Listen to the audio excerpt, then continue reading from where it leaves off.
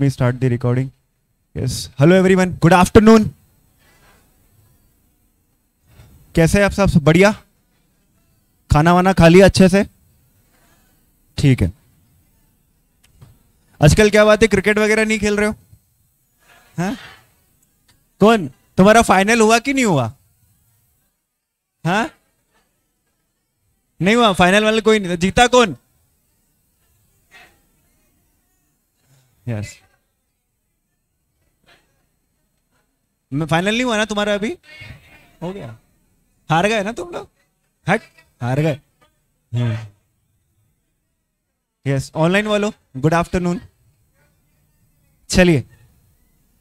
So let's begin for the day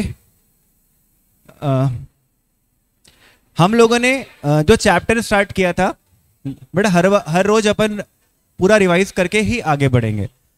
chapter का नाम था e commerce m commerce emerging technologies इस chapter में दो पार्ट है। एक तो ई कॉमर्स एम कॉमर्स क्या होता है, वो सारी बातें, और एक एक टेक्नोलॉजीज़ के बारे में बातें। टेक्नोलॉजी बहुत सारी थी, मैंने आपको पढ़ाई थी सबसे पहले BYOD bring your own device जब भी क्वेश्चन आएगा बायोड के दो ही क्वेश्चन आ सकते हैं एग्ज़ाम में। अच्छा तो आपको पहले लिखना इंट्रोडक्शन एक पॉलिसी है, जो कौन अडॉप्ट करता है? ऑर्गेनाइजेशन जिसमें वो अलाउ करते हैं किसको? एम्प्लॉयज़ को। कि वो अपने डिवाइसेस का यूज़ किसके लिए कर सकते हैं? ऑर्गेनाइजेशनल पर्पसेस के लिए कर सकते हैं। इसका सबसे फ़र्स्ट क्वेश्चन था बेनिफिट्स क्या होंगे? रिकॉर्डिंग इज़ ऑन है ना? सबसे first benefit happy employ increase in employ efficiency early adoption of new IT technology lower IT budget और it reduce support requirement then that was risk associated with BYOD ठीक है? D for A for application risk N for network risk I for implementation risk मैं question पूछता हूँ। इसमें से कौन सी ऐसी रिस्क है जो ये शो करती है कि पॉलिसी अच्छी नहीं है? इसमें से ऐसी कौन सी रिस्क है जो ये बताती है कि यार विजिबिलिटी कम होगी? नेटवर्क एंटीवायरस सॉफ्टवेयर नहीं होते। डिवाइस चोरी हो जाएगा। बस। हमेशा मतलब कभी भी हम जब रिवाइज करेंगे ना we will not see the book हम ऐसे ही अपने माइंड से क्या करेंगे? रिवाइज नाउ हम लोगों ने एक नया कॉन्सेप्ट चालू किया था आईओटी का। इंटरनेट ऑफ़ थिंग्स इसमें क्या था इंटरनेट ऑफ़ थिंग्स में?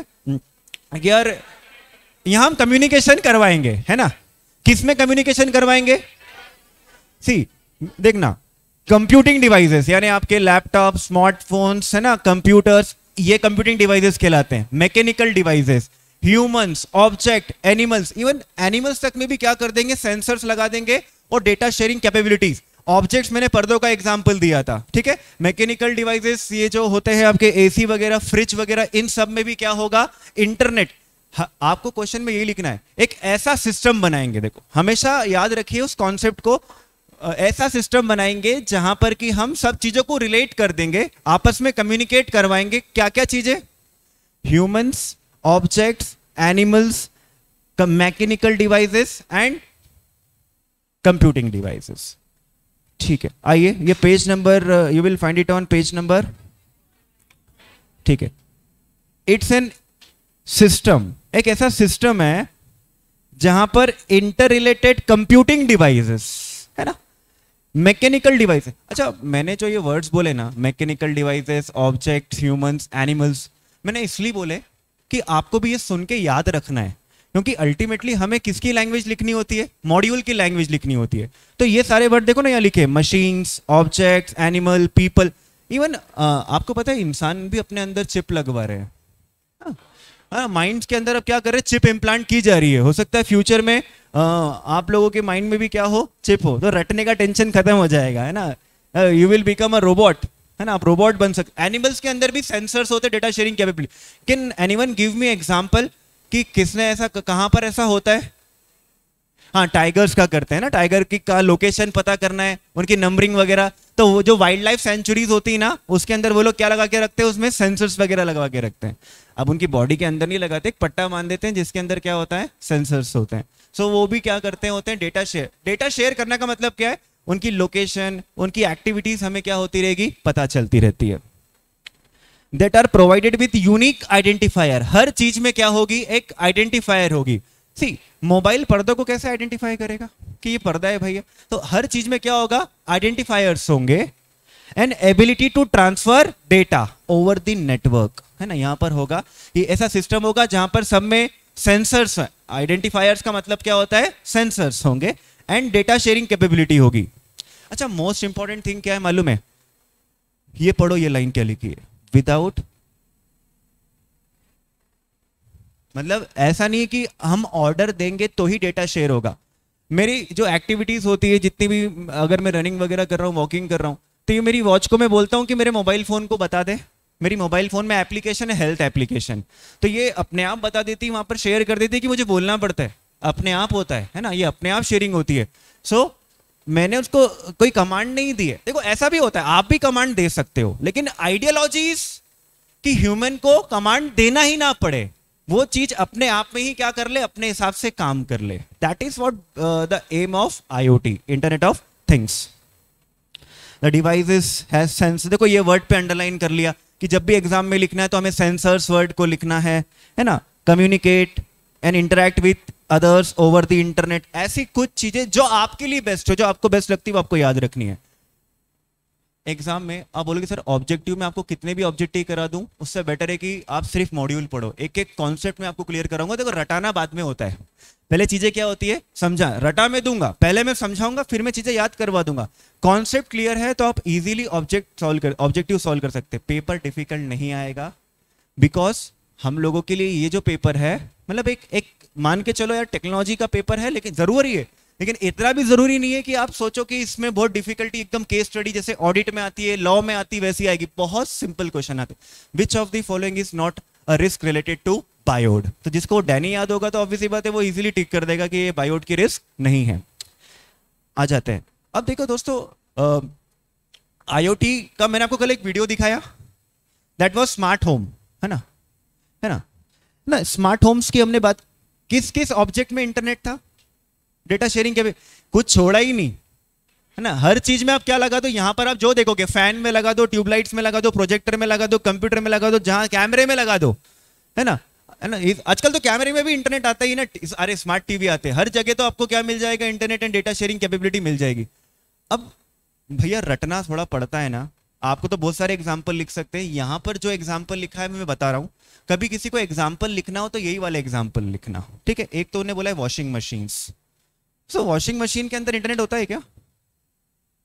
हाँ। आपको याद है एक वो वीडियो कल देखा होगा ध्यान से देख रिपेयर वाला आया था। सी अगर आपकी वॉशिंग मशीन खराब होगी ना तो वो ऑटोमेटिक मैन्युफैक्चरर से क्या कर देगी? कम्युनिकेट कि हमारे अंदर कुछ ना कुछ प्रॉब्लम है। तो सर्विस वाले को बुलाना नहीं पड़ेगा। या फिर वॉशिंग मशीन की सर्विस की डेट आ रही होगी या किसी भी इक्विपमेंट की सर्विस की डेट आ रही होगी एसी के सर्विस की डेट आ रही होगी। तो AC will automatically communicate to the service department and service department का बंदा आकर क्या कर देगा? एसी रिपेयर कर देगा। अरे बात समझ में। ये भी होता है मतलब ऐसा हो सकता है। आप बोले सर, ये तो बहुत रिस्की है, ऐसे तो कल से क्या होगा?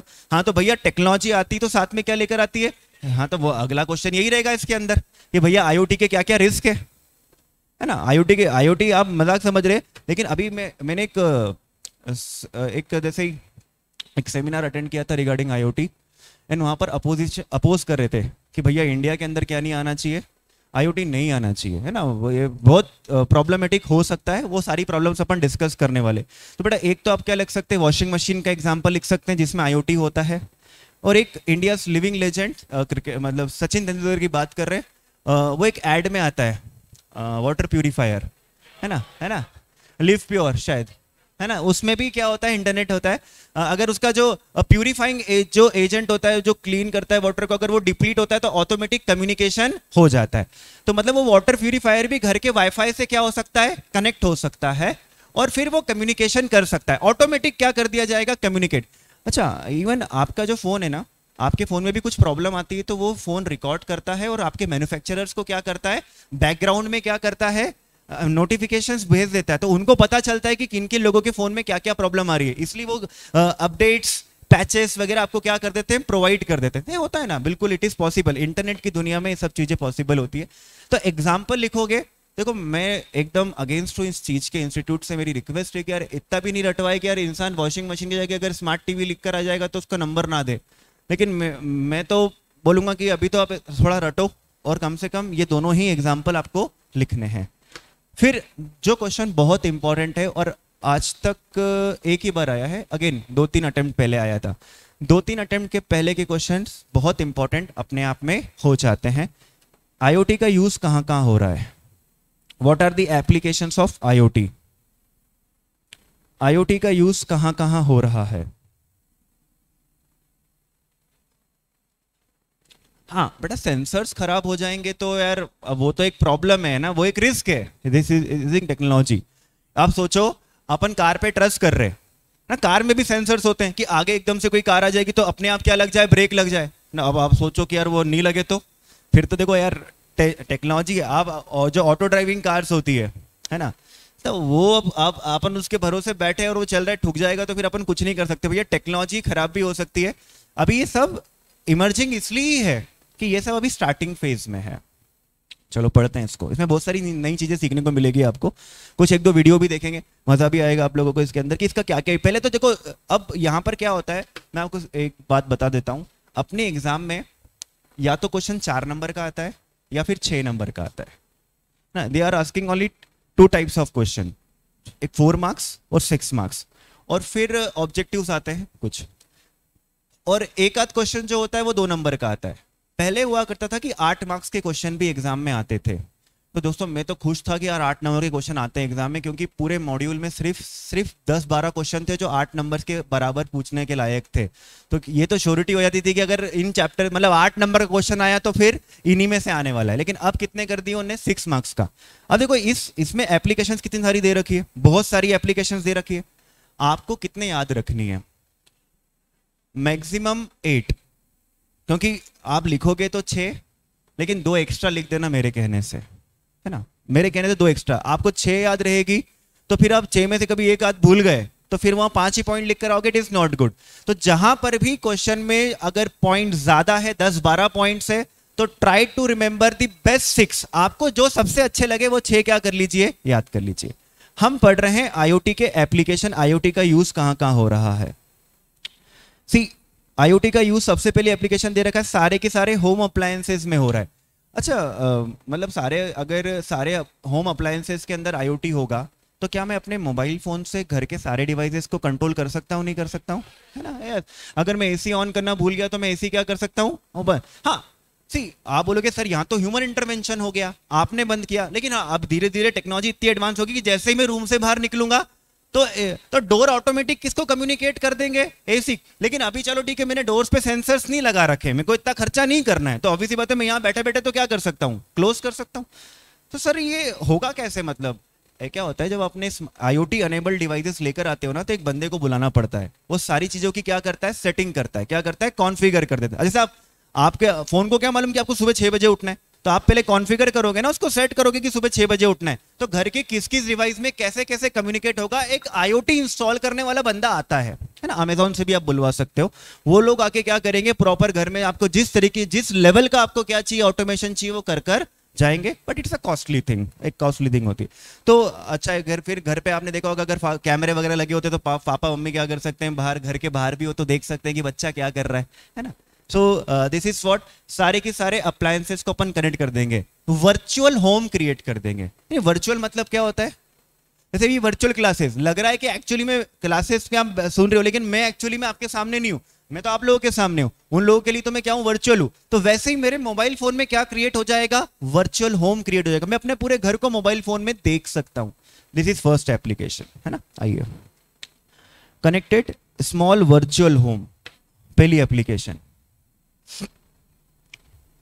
सीसीटीवी कैमरा को भी घर के कनेक्ट कर दिया, मोबाइल लोगों ने तो दुकानों में भी लगा के रखते हैं, ऑफ़िस में भी लगा के रखते हैं ना तो ऑफ़िस में क्या चल रहा है एम्प्लॉयज़ क्या कर रहे हैं यू कैन ट्रैक सारे के सारे that is home appliances first मेरे हिसाब से ये बहुत इजी है, ये आप याद रख सकते हैं, है ना? सेकेंड ये इसका एक, इसका ही वीडियो दिखाया था मैंने कल आपको। फिर याद है जब वो ऑफ़िस में एंटर हुआ था तो पूरा ऑफ़िस क्या हो गया था, है ना? तो भैया ऑफ़िस एम्प्लायंसेस में भी तो हो सकता है आईओटी कहाँ कहाँ आईओटी हो सकता है? आईओटी का यूज़ घर में भी हो सकता है और ऑफ़िस में भी हो सकता है। ऑफ़िस में। इवन जैसे जैसे हम लोग आर्टिकल्स क्या करते? पहले हमारे जो प्रिंटर्स थे ना तो वो लाइक नॉट स्मार्ट प्रिंटर्स होता क्या था कि आर्टिकल्स जो होते थे, अब हम चले जाते थे छः सात बजे, मैं तो निकल जाता था ऑफ़िस से। तो अब ये लोग ये लोग रुकते। मेरे, हम, मेरे को लगता है हमारे वहाँ के आर्टिकल ऐसा क्यों लोग तो घर जाने की जल्दी करते। हैं और ये लोग तो यार आठ आठ नौ नौ बजे तक रुकते हैं। तो मैंने ठीक है कुछ होता होगा अच्छा काम करते होंगे। फिर एक दिन देखा तो प्रिंटर्स के पेपर खत्म होते जा रहे हैं। हाँ, पूरा मॉड्यूल की मॉड्यूल क्या कर रहे थे नलायक कौन प्रिंट करते हैं। है ना पूरा मॉड्यूल ई e का पूरा मॉड्यूल वहीं से ऑफ़िस के पेपर से क्या कर रहे हैं? प्रिंट कर रहे हैं। और एक आर्टिकल नहीं कितने सारे आर्टिकल है?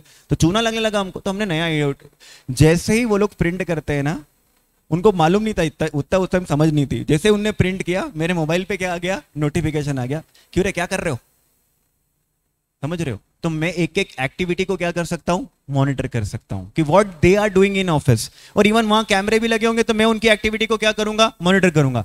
और इवन आपने देखा होगा ऑफ़िस के अंदर थम थम मशीन्स भी होती है ना अटेंडेंस के लिए। कोई आएगा तो क्या करेगा? अटेंडेंस लग जाएगी। कोई जाएगा तो अटेंडेंस तो आप अपने ऑफ़िस को भी किससे क्रिएट कनेक्ट कर सकते हो? आईओटी से कनेक्ट कर सकते हो। तो बेटा एक तो आप किसके बारे में लिख सकते हो?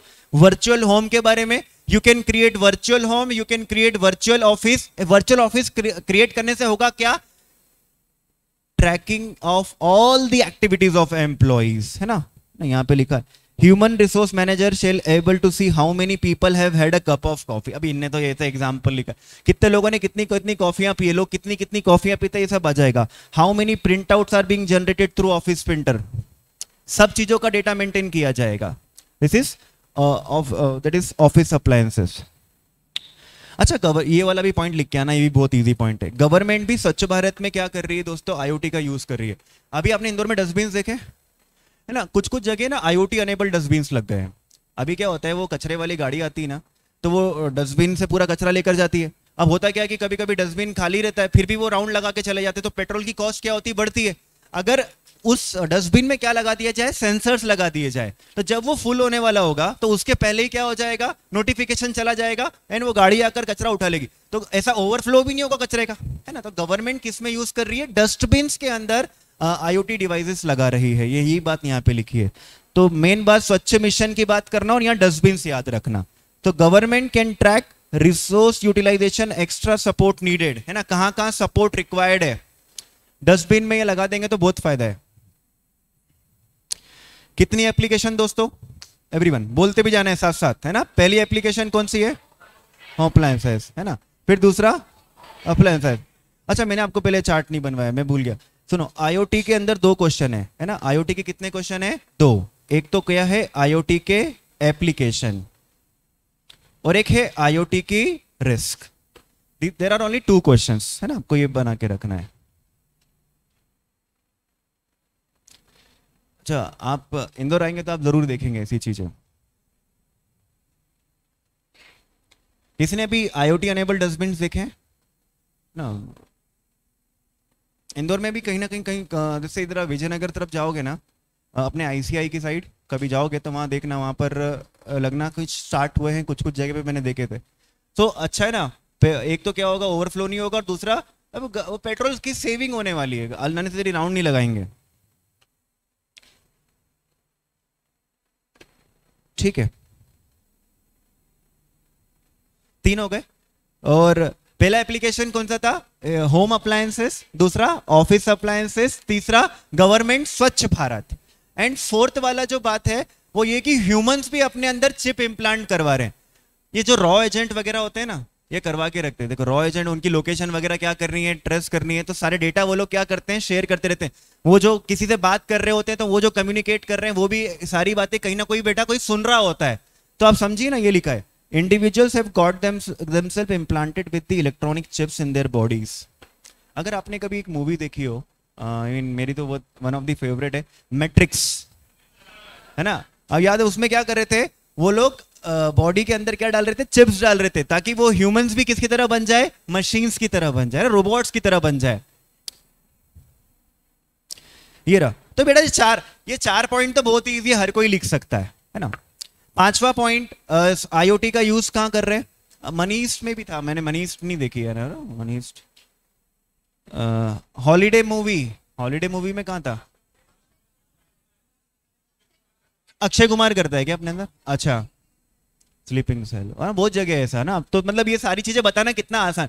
मतलब ये सब्जेक्ट को मुझे समझाने में कोई दिक्कत कभी नहीं होने वाली, क्योंकि इसमें जो टॉपिक है वो सब आपने लाइव आप देख रहे हो, बहुत सिंपल है, पूरा सब्जेक्ट बहुत सिंपल है। सिर्फ़ एक ही चैप्टर आपको थोड़ा डिफ़िकल्ट लगेगा that is chapter number third बाकी मेरे साथ तो वो भी प्रॉब्लम नहीं है। Then is wearables wearables wearables IoT enabled watch Apple watch even shoes में भी आते हैं। अगर आप अगर आप प्यूमा वगैरह के शूज़ है नाइकी के शूज़ है एडिडास के शूज़ है, उसमें भी क्या होते हैं? सेंसर्स होते हैं। आपने कितनी वॉकिंग करी है, कितनी स्पीड से करी है, उसका डेटा वगैरह वो क्या करते हैं? मेंटेन करते हैं। So that is what wearables में भी आते हैं।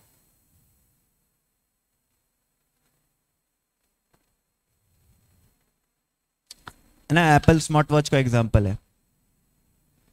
फाइव हो गए। नाउ स्मार्ट सिटी ना स्मार्ट सिटीज़ हो रहे आज की तारीख में आ, वो जो रो, आपने रोड साइड अभी तो इंदौर में कम है लेकिन स्पीड चेकिंग करने के लिए क्या आपने देखा होगा कल एक वीडियो के अंदर जब वो रोड पे गाड़ी चली थी तो स्पीड ट्रैकर्स वगैरह लगे हुए थे। है ना? अगर कोई ओवर स्पीड से गया ना तो वो कैच करेंगे और फिर आ, सेंड कर देंगे मतलब वो ट्रैफ़िक वालों को। वो लोग फिर क्या करेंगे चालान वालान का प्रोसेसिंग वगैरह कर सकते। और न्यूजीलैंड वगैरह में तो क्या है कि आपने ओवर स्पीड करी तो आपका अकाउंट बैंक अकाउंट ऑलरेडी क्या होता है? कनेक्टेड होता है उन लोगों से। वो फटाफट तुम्हारे बैंक अकाउंट से ही पैसे काट लेते हैं। तो सेंसर्स ने कैच किया डिटेल्स प्रोवाइड करी और क्या कर दिया? कट कर दिया। तो स्मार्ट सिटी तो स्मार्ट सिटी के अंदर क्या है? एक तो ट्रैफ़िक मैनेजमेंट में यूज़ होता है। मेन वर्ड्स याद रखिएगा, अंदर क्या लिखना है? स्मार्ट सिटी के अंदर मेन ट्रैफ़िक को मैनेज करना है। सेंसर्स वगैरह हर जगह जगह लगे होंगे। अच्छा अभी एक चीज़ और आपने नोटिस करी होगी कि अगर जैसे आप किसी सिग्नल पे खड़े होते हैं तो कुछ जगह की मतलब अगर सब लोगों का टाइम वहाँ डिवाइडेड होता है कि यार भैया यहाँ सिक्सटी सेवन का सिक्सटी सेकेंड्स का है यहाँ सिक्सटी सेकेंड्स का। लेकिन कभी कभी क्या होता है, कोई साइड ऐसी होती है जहाँ पर सिक्सटी सेकेंड्स की ज़रूरत ही नहीं होती, है ना? वहाँ पे पाँच दस सेकंड में भी क्या होता है ट्रैफ़िक क्लियर हो जाता है, लेकिन कुछ कुछ जगह 90 सेकंड या 120 ट्वेंटी ओपन करना चाहिए। अभी जो हमारे ट्रैफ़िक लाइट्स है ना, वो स्मार्ट नहीं है। लेकिन जब ट्रैफ़िक लाइट क्या हो जाएगी? स्मार्ट हो जाएगी तो जिस जगह ज़्यादा देर ओपन करने की ज़रूरत है तो वो वो सेंस करेंगे ट्रैफ़िक को सेंस करेंगे, क्योंकि कैमरेज लगे होंगे। वो camera will be sharing data to the traffic light traffic light उसको एनालाइज करेगी और पता कर देगी कि भैया, इस साइड के लिए कितना मूवमेंट ओपन करना है, उस साइड के लिए कितना मूवमेंट ओपन करना है। तो ट्रैफ़िक मैनेजमेंट में किसका यूज़ हो रहा है? आईओटी का यूज़ होता है। अगर कहीं पेड़ वगैरह गिर गया एकदम से, या कोई रास्ता वस्ता बंद है तो क्या होगा? ये सेंसर्स या ट्रैफ़िक सिग्नल्स या आसपास में जहाँ जहाँ सेंसर्स लगे होंगे, ये वो कैच करेंगे और वो कैच करके पूरे सिटी में क्या कर देंगे? लोगों को सेंड कर देंगे। You will get a notification और ये मोबाइल की ये रास्ता क्या है? खराब है, यहाँ से मत आओ। That is what the thing is traffic management में हम किसका यूज़ कर रहे हैं? आईओटी का। वेस्ट मैनेजमेंट में भी किसका यूज़ होता है? आईओटी का यूज़ होता है। और वेस्ट मैनेजमेंट का एक एग्जांपल मैंने अलग से बता दिया आपको। स्वच्छ भारत, है ना? तो यहाँ लिखा होगा वेस्ट मैनेजमेंट में यूज़ करते हैं ट्रैफ़िक मैनेजमेंट में यूज़ करते हैं। एनवायरमेंट में मॉनिटरिंग में यूज़ करते हैं कोई एग्ज़ाम्पल देगा? एनवायरमेंट मॉनिटरिंग में यूज़ करते हैं। आ, कितने कितने लेवल का पॉल्यूशन है? एयर क्वालिटी वगैरह चेक करने के लिए क्या लगे हैं? सेंसर और वो रियल टाइम में क्या कर रहे हैं? हर दिन के इस टाइम पर विजयनगर में कितना पॉल्यूशन है? बाकी एमजी रोड पे कितना पॉल्यूशन है? वो इंदौर म्यूनसिपल कॉर्पोरेशन में जो लोग देख रहे होंगे उनको रियल टाइम क्या किया जा रहा है? रिपोर्ट किया जा रहा है। और अगर आप विजयनगर जाते हो तो वहाँ तो लगा हुआ है अगर आप देखोगे तो है ना? वहाँ स्क्रीन लगी हुई है। है ना? वो कंटिन्यूस डेटा क्या कर रही होती है? शेयर कर रही होती है ना? तो आपको बता रहे कि यार भैया यहाँ पर अभी पॉल्यूशन काफ़ी ज़्यादा है तो यहाँ वेट कर लीजिए। यहाँ से जाने की ज़रूरत नहीं है। ऐसा कुछ आप कर सकते सो so, ये छह पॉइंट है बेटा। ये छह पॉइंट तो सबसे इजीली आप क्या कर सकते याद कर सकते। पीछे वालों क्या मेरी बात समझ में आई? बेटा पहला कौन कौन सा है? होम अप्लायंसेस दूसरा ऑफ़िस अप्लायंसेस तीसरा है ना? गवर्नमेंट स्वच्छ भारत में, चौथा ह्यूमंस अपने अंदर क्या लगा रहे? चिप लगा रहे। पांचवा वेरिएबल्स स्मार्ट सिटी अब सुनना, कुछ बच्चा क्या करेगा? सर, मैंने वेरिएबल्स की जगह एप्पल वॉच लिख के आ गया तो उसके नंबर मिलेंगे क्या? नहीं मिलते। उसका उसका नॉलेज सही है। उसका नॉलेज सही है। लेकिन उसको उसको अपने आप को प्रेजेंट करते आना चाहिए। वेरिएबल्स लिख और उसके अंदर एप्पल वॉच को क्या कर दे? एक्सप्लेन कर दे। ठीक है। अब वेरिएबल्स लिखो और सिर्फ़ एप्पल वॉच लिख दिया तो काम नहीं चलेगा। उसको आपको अपने वेरिएबल्स के अंदर है ना शूज़ है ना, अपने लैंग्वेज में आप क्या कर सकते हैं एक्सप्लेन कर सकते हैं। डू इट नाउ ये छह पॉइंट हो गए। दोस्तों, कभी आपने इस चीज़ का नाम सुना है क्या? अमेजॉन गो कितने लोगों ने सुना है, मैं बता रहा हूँ, अभी वीडियो दिखाता हूँ उसका एक। अमेजॉन गो क्या है अमेजोन गो का कॉन्सेप्ट अमेजोन जाओ। बस नाम सुना है है ना? Anyone know what is Amazon Go it's an outlet store है अभी क्या देखो ये, मेगा मोर है ना? कभी मेगा मोर गए हो? या ये बिग बाज़ार वगैरह गए हो कभी? मैं तो वहाँ जाने की सबसे ज़्यादा दिक्कत वही है कि वहाँ जाओ तो एक तो क्या करनी पड़ती है? पार्किंग वो पार्किंग बहुत सरदर्द है उसमें पार्किंग करना। और दूसरा वहाँ लाइन लगती है। मतलब आपने अगर एक आइटम उठाया तो एक आइटम के लिए आप इतनी देर लाइन में खड़े रहेंगे। भले ही वो फास्ट ट्रैक लाइन वाली भी होती है लेकिन फास्ट ट्रैक में भी कितने लोग फास्ट ट्रैक वाले होते टाइम बहुत लगता है। सो दोस्तों अमेजोन ने सोचा कि क्यों ना ऐसा कॉन्सेप्ट हो कि जहाँ पर लाइन ना लगे, कुछ ना हो, कोई बिल विल ना बने नथिंग है ना? बस आप स्टोर में जाओ, सामान उठाओ बैग में रखो और अब चले जाओ। बताओ, कितना चाह कोई इंसान ही नहीं होगा शॉप के अंदर नो मैन शॉप कोई इंसान ही नहीं होने वाला। बस जाओ, सामान उठाओ, रखो, निकलो। अब आप बोलोगे, सर ये कैसे ये कैसे पता लगेगा कि उनने, आपने कौन सा सामान उठाया? जो भी सामान उठाओगे, उसमें सेंसर होगा। वो सेंसर शॉप में कहीं ना कहीं क्या करेगा? कम्युनिकेट करेगा। वो शॉप का सेंसर अमेजोन को कम्युनिकेट करेगा। शॉप में घुसने से पहले आपको अपनी अपने मोबाइल फ़ोन में अमेजोन ऐप डाउनलोड करनी पड़ेगी। उसको पहले कॉन्फ़िगर करना पड़ेगा। उसमें अपना क्रेडिट कार्ड ऐड करना पड़ेगा। या उसमें बैलेंस ऐड करना पड़ेगा। जो सामान उठाया, वैसे ही सेंसर कैच करेगा। अमेजोन पे अपडेट आपकी ऐप में अपडेट बैंक अकाउंट से पैसा कट होकर आपके पास सामान बिल आपको मेल पे आ जाएगा। No guards nothing no checking कोई चेक वेक नहीं करेगा, कोई निकलते टाइम भी रुको, बताओ क्या क्या सामान लेके जा रहे लिस्ट विस्ट खेल खत्म। अमेजोन को अच्छा कॉन्सेप्ट है? भाई इंडिया के लिए, भैया, यही चीज़ बिहार में हो तो? आप सोच के देखो, यही चीज़ बिहार में हो तो फिर कर लो कुछ भी। तो सबके, सारे सेंसर उड़ा ले जाएँगे वो तो। सेंसर गायब। और दुकान में घुसेंगे सेंसर ही गायब, एक एक आइटम गायब कर देंगे। इंडिया में टाइम लगेगा अभी but yes I think San Francisco वगैरह में ये चीज़ें स्टार्ट कर दी गई है। लेट सी मैं आपको बताता हूँ। बंटिया से कनेक्टेड है क्या?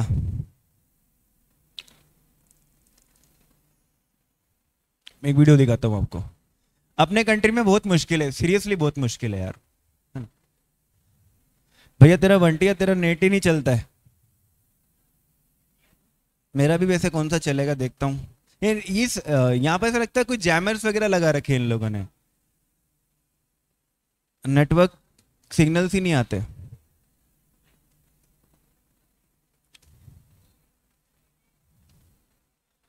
अमेजोन जाओ। अच्छा कौन सा वीडियो देखना है? हिंदी वाला कि अंग्रेज़ी वाला?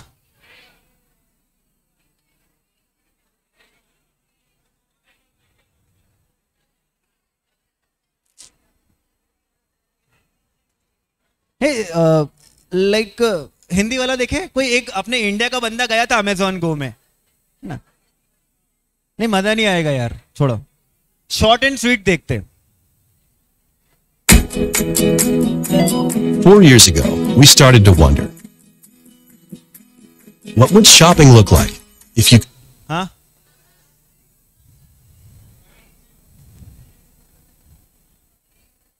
आवाज़ कम कर दी। हिंदी हिंदी अरे हिंदी में नहीं Four years ago, we started to wonder what would shopping look like if you could walk into a store, grab what you want, and just go? What if we could weave the most advanced machine learning, computer vision, and AI into the very fabric of a store so you never have to wait in line? No lines, no checkouts, no registers. Welcome to Amazon Go.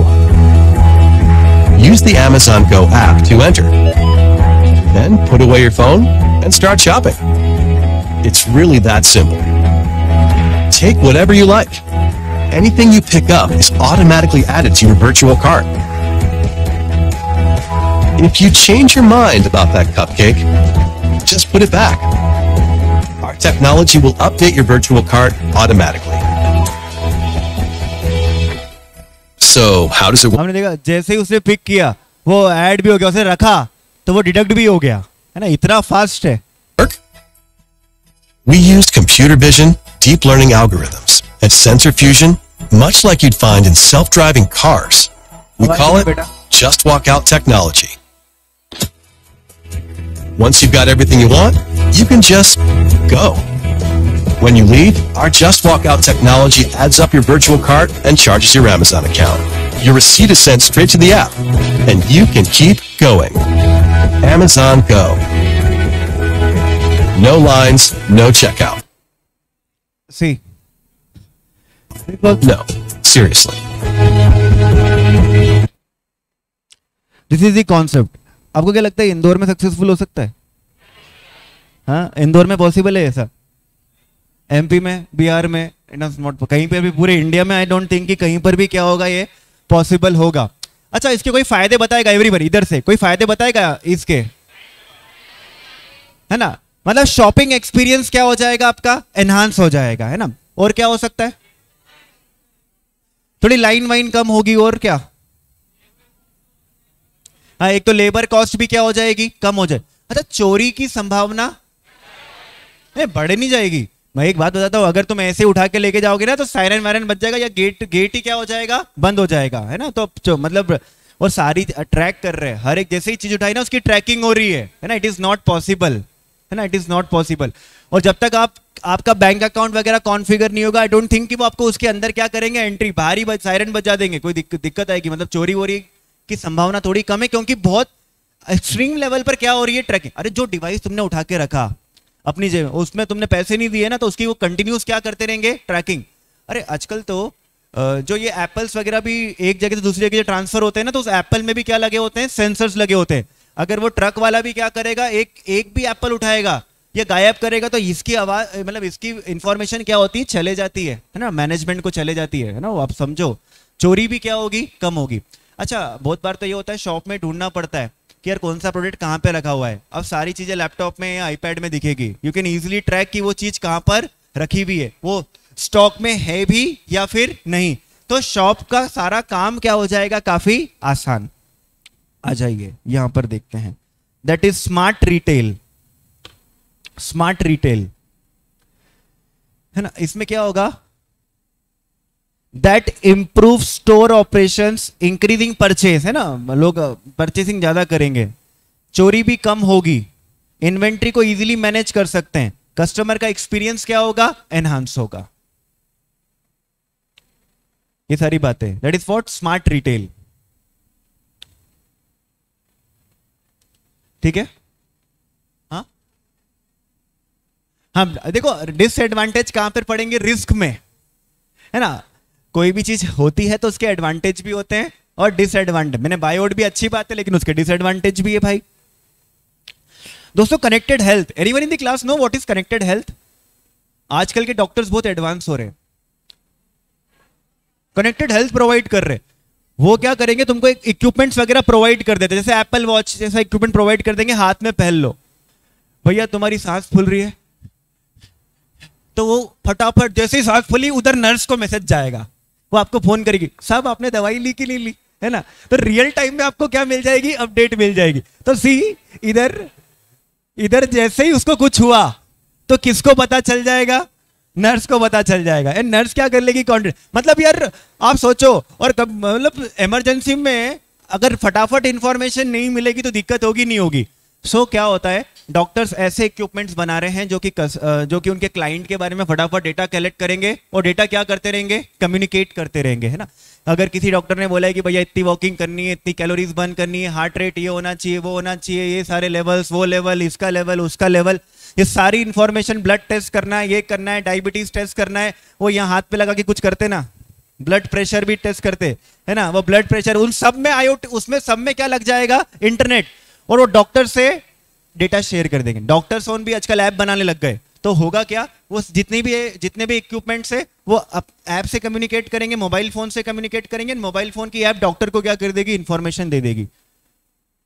That is what connected health connected health अच्छा अब ये अब ये अपने छह आठ point पढ़ने के बाद बाकी पॉइंट्स को आप चिल ले सकते हैं ना? कोई बार हंड्रेड परसेंट याद कनेक्टेड कार तो सबको मालूम है टेस्ला या अगर, है ना?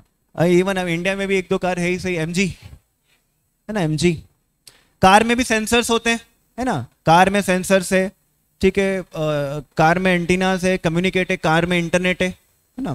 कार से आप कम्युनिकेट कर सकते हैं। अलेक्सा वगैरह भी अलेक्सा एनेबल्ड आते हैं। अच्छा कोई मुझे ये बता सकता है कि सर आप ये आईओटी बता रहे हो, हमको तो ये एआई जैसा लग रहा है। समझो। आईओटी और एआई में फ़र्क है बेटा। आईओटी एक कॉन्सेप्ट है जिसमें डिवाइसेस आपस में क्या कर रहे हैं? बात कर रहे हैं। और एआई एआई तो मतलब ऐसा है कि वो ह्यूमन की तरह ही क्या करेगा? बिहेव करेगा। दैट इज़ समथिंग डिफरेंट है ना?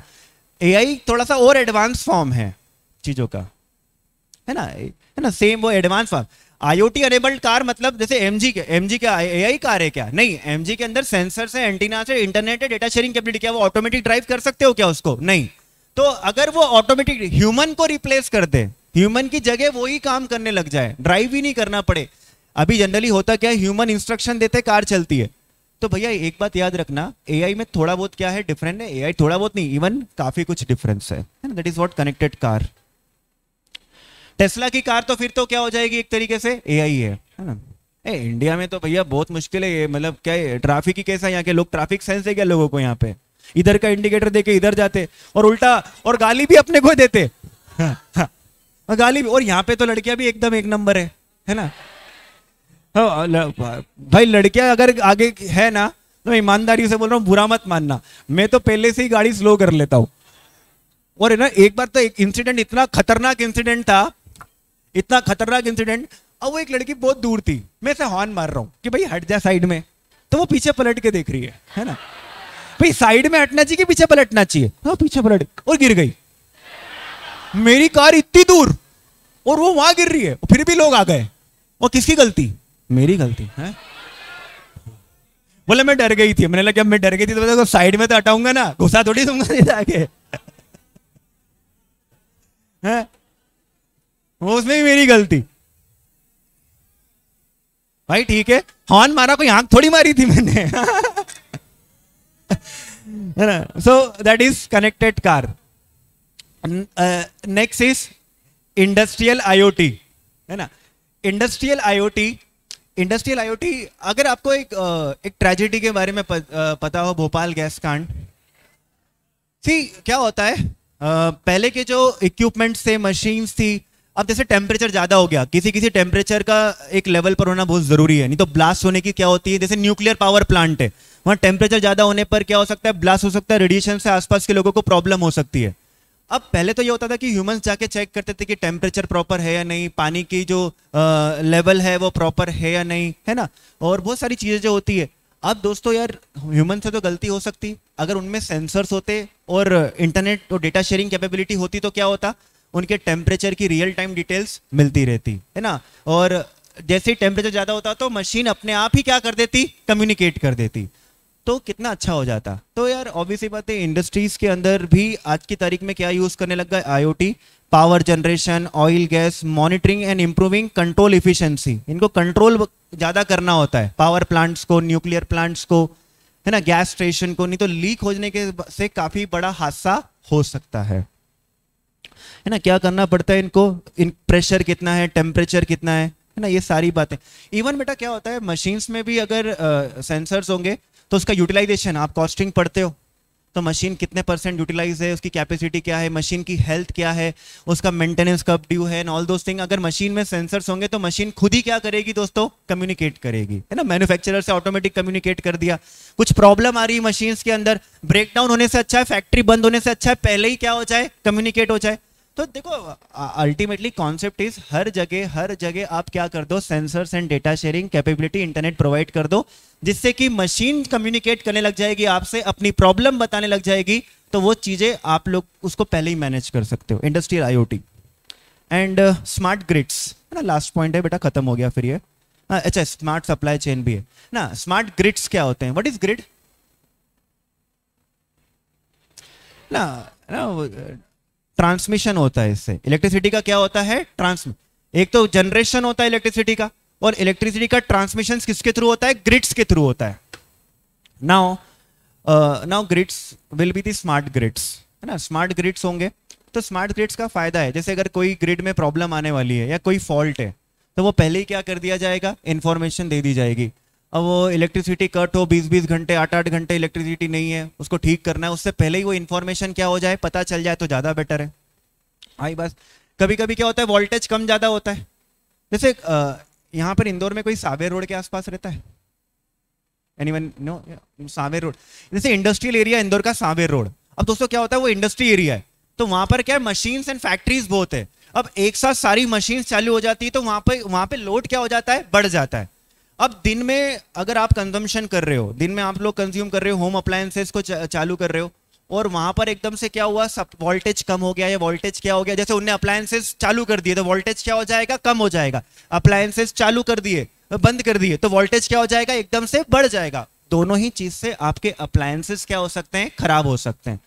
सो so, अगर ये मैनेज करना हो कि यार कौन इलेक्ट्रिसिटी कंजम्पशन किस टाइम पे ज़्यादा होता है, किस टाइम पे कम होता है, अगर वो चाहते हैं कि जिस टाइम पे इलेक्ट्रिसिटी कंजम्पशन फैक्ट्री चालू होती है, दस से बारह के बीच में इलेक्ट्रिसिटी कंजम्पशन ज़्यादा होता है तो वो ऐसा भी कर सकता है। अमेरिका में तो ऐसा होता है कि 10 से 12 के बीच में अगर आप इलेक्ट्रिसिटी यूज़ कर रहे हो तो चार्जेस ज़्यादा रहेंगे। तो मतलब लोग क्या करेंगे, अपने होम अप्लायंसेस का यूज़ उस टाइम कम करेंगे। और जब फैक्ट्री बंद रहेगी, तब क्या होगा, उस टाइम पर होम अप्लायंसेस को यूज़ करने के इलेक्ट्रिसिटी के रेट क्या कर दिए जाएँगे, कम कर दिए जाएँगे। तो smart grid is nothing but will collect data है ना? अपने कंज्यूमर का डेटा उनकी स्टडी करेगा, कहाँ पर इलेक्ट्रिसिटी कंजम्पशन ज़्यादा है, कहाँ कम है, कोई ग्रिड में खराबी है, कभी लाइन में, आपने देखा होगा ट्रेन से ट्रैवल करते तो ऐसे बड़े बड़े खंबे होते हैं, तार, है ना? वो लगे होते हैं इज़ वॉट इज़ ग्रिड किस जगह प्रॉब्लम आ गई है, किस अब देखो, अब क्या होता है, मान लो कि कोई फॉल्ट आया, तार टूट गया, अब तार टूट गया तो दोस्तों, अब ढूँढने जाना पड़ेगा ना कि कहाँ गया है? अगर स्मार्ट ग्रिड होंगे तो क्या होगा? आपको लोकेशन पता होगी कि किस जगह क्या हुई है प्रॉब्लम फटाफट वहाँ गए और प्रॉब्लम को क्या कर दिया? Solve that is smart grid okay and last one is smart supply chain supply chain का मतलब समझते हो क्या होता है? सप्लाई चेन मतलब? नहीं मालूम। जैसे जो पूरी चेन चालू होती है ना, कहाँ से? रॉ मटेरियल से लेके, है ना मैन्युफैक्चरर्स डिस्ट्रीब्यूटर्स है ना wholesaler retailers and all those thing अच्छा अगर स्मार्ट सप्लाई चेन होगी तो दोस्तों होगा क्या कि मैन्युफैक्चरर्स को पता होगा कि उनके प्रोडक्ट मार्केट में कितने हैं, किस डीलर के पास कितने बचे हैं? है ना? कितना उनको प्रोडक्शन करना है, कितना प्रोडक्शन नहीं करना है, ये सारी डिटेल्स एक एक प्रोडक्ट की क्या रहेगी उनके पास? डिटेल होने वाली है। तो पूरी डिस्ट्रीब्यूशन चेन आपस में क्या करेगी? कम्युनिकेट करेगी। कभी कभी अब जैसे मैन्युफैक्चरर्स माल पहुंचाएँगे डिस्ट्रीब्यूटर्स तक, बीच में चोरी हो सकता है। तो लॉजिस्टिक वाले भी आते हैं सप्लाई चेन के अंदर। तो भैया उसमें भी जब माल पहुँचाया जा रहा होगा तो जो कार वगैरह है आई मीन लॉरीज वगैरह है, उसके अंदर भी सेंसर्स होंगे। है ना? वो सेंसर से आप लॉरी को क्या कर सकते हो? पूरा ट्रैक कर सकते हो कि वेर इट इज़ फिर कोई सा प्रोडक्ट की चोरी वोरी तो नहीं हुई है। ये सारी चीज़ें आप क्या कर सकते हो? ट्रैक कर सकते हो। That is for smart supply chain आजकल तो आप इवन आप जोमेटो पे भी करते ही होंगे कि वो लोकेशन क्या है उसकी है ना? uh, निकला नहीं निकला बन रहा है क्या हो रहा है ऑल दोस थिंग्स तो that is what the smart supply chain मतलब उस चेन में उस चेन में जो जो लोग हैं, उनको जो जो इंफॉर्मेशन रिक्वायर्ड है, वो सब क्या होती रहेगी, मिलती रहेगी। देखो स्मार्ट सप्लाई चेन में कस्टमर भी आते हैं। पहले क्या होता था, जैसे कोई प्रोडक्ट नहीं आया, हमने अमेजोन पे ऑर्डर किया तो तो बार बार फ़ोन करके वो कस्टमर केयर वाली से बात करनी पड़ती थी। वो कस्टमर केयर वाली बोलती, साहब बताती हूँ, साहब बताती उसको खुद को ही नहीं पता होता था। अब अमेजोन ने क्या बोला, भैया, हम तो ऐप बना दी। सारी डिटेल्स हमको क्या मिलेगी, आपको ऐप में देख लो। वो कहाँ पहुँचा है? वेयर हाउस में है, निकल गया है। कहाँ तक पहुँचा है, किस सिटी में, आपकी सिटी में आया, आपके घर के लिए निकल चुका है, आपको डिलीवर हो चुका है एक एक एक्टिविटी आपको आपकी आँखों के सामने दिखेगी। स्मार्ट सप्लाई चेन हो गई एप्लीकेशन अपन को कितनी याद करनी है? आठ, है ना? और बेस्ट तो सिक्स ही करनी है। बेस्ट सिक्स और दो अपन को क्या रखनी है? एक्स्ट्रा चलो, हो गया ये क्वेश्चन खत्म दोस्तों। हाँ। चलिए, पहले तो मुझे बताइए what is the meaning of IoT एक सिस्टम है जहाँ पर इंटर रिलेटेड कंपोनेंट्स होंगे। क्या क्या होगा उसके अंदर? Humans object animals mechanical devices computing devices what they will do? They will communicate with each other.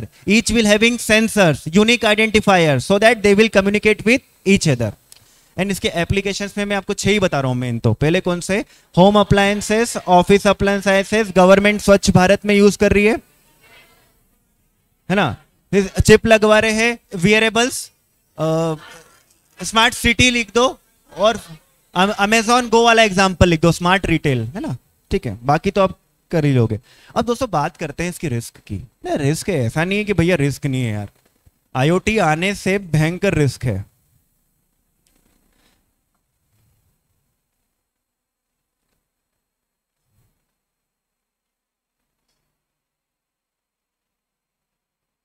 Risk का एक चार्ट बना लो फटाफट से।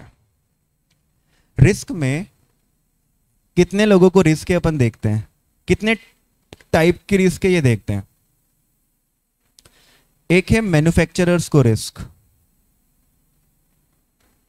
किसको रिस्क है? मैन्युफैक्चरर्स को रिस्क।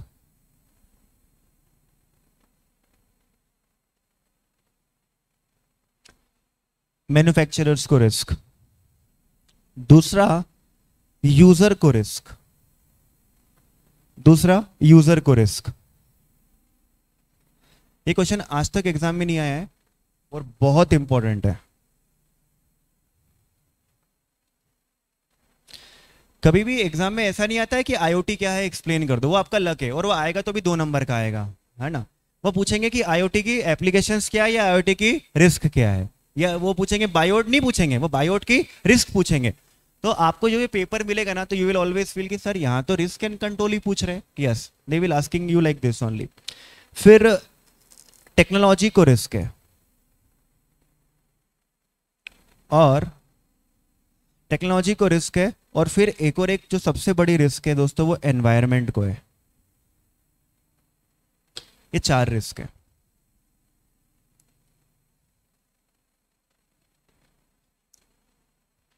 एनवायरमेंट को और भी रिस्क हो सकती है। आप लोगों से भी मैं कुछ, एक दो रिस्क पूछूँगा, आपको क्या लगता है आईओटी की रिस्क है ना? अच्छा अब एग्ज़ाम में आया आईओटी की रिस्क कैसे लिखोगे? पहले आईओटी को एक्सप्लेन करोगे इंट्रोडक्शन करके आईओटी को लिखा। फिर ये रिस्क के चारों पॉइंट ऐसे चार्ट में बना दोगे। और फिर एक एक पॉइंट को लेकर आपको क्या करना है? एक्सप्लेन करना है। तो क्या होगा कॉपी चेकर को पहले ही पता चल जाएगा कि बंदे ने बाहर के पॉइंट्स क्या लिखे हैं? सही सही लिखे हैं। तो फिर उसका एटीट्यूड आपके अगेंस्ट क्या हो जाएगा? चेंज और एक बात और, दोस्तों, मैंने बहुत बार देखा है, बहुत सारी कॉपीज में स्टूडेंट्स की देखता हूँ, वो लोग अच्छा भी लिख आते हैं, फिर भी उनको कम नंबर मिलते हैं। और ऐसा इसलिए हुआ है कि वो शुरुआत के एक दो क्वेश्चन जो अटेम्प्ट करते हैं ना, वो इतना गंदा लिखते हैं और इतने ढंग से अटेम्प्ट नहीं करते तो उसका एटीट्यूड क्या होता है कॉपी चेकर का? ए तो बस आ गया काम टालना, भैया कॉपी चेकिंग के दो सौ रुपये पाँच सौ रुपये कुछ कितने रुपए मिलते हैं? ढाई सौ रुपये से कुछ हाँ आठ सॉरी आठ सौ कुछ सुबह मिलते हैं ना इंटर की, वो तो फाउंडेशन आठ सौ रुपये एक कॉपी के मिलते हैं। तो वो ज़्यादा से ज़्यादा कॉपी क्या करना चाहेगा? चेक करना चाहेगा ना? मतलब सीए बनने के बाद अगर आप प्रैक्टिस कर रहे हो दोस्तों, साल में दो महीने के पाँच लाख कमा सकते हो। साल के दो महीने के पाँच लाख। कौन सा? एक तो दिसंबर महीना और एक जून महीना। आप कॉपी चेकिंग के लिए क्या करिए? अप्लाई करिए। नॉर्मल से नॉर्मल एक, जो मेरे फ्रेंड्स कॉपी चेक करते हैं, वो ढाई ढाई लाख रुपए हर उठा ही लेते हैं मतलब इंस्टीट्यूट से। ढाई लाख रुपए उठा लिए, फिर ढाई लाख रुपए उठा लिए, जून में। तो पाँच लाख की कमाई तो ऐसी हो गई बट प्रैक्टिस करने का एक फ़ायदा है। जॉब करने वाले को नहीं मिलेगा। किसको मिलेगा? प्रैक्टिस हम लोग चेक नहीं कर सकते। जो पढ़ाता है, वो वो कॉपी कभी भी चेक नहीं कर सकता। ये तो ये तो नाइंसाफी है यार, गलत है ये। भैया, जो पढ़ाता है, उसको ज़्यादा नॉलेज है। है ना? अब वो कॉपी किससे चेक करवाते वो डोकरों से चेक करवाएँगे, जो बहुत पुराने पुराने हो गए। अब मैंने ऐसा नहीं बोला। वो भैया, नाटा सर तो मेरे से भी छोटे हाँ। अब अब वो उनसे उनसे, अब उनके पास रहेगा मॉड्यूल अब वो मॉड्यूल से ऐसे देख देख के चेक करेंगे तो तुम्हारे को तो काटेंगे ना नंबर अबे समझ करो यार, है? नाटा सर तो बहुत यंग है अभी।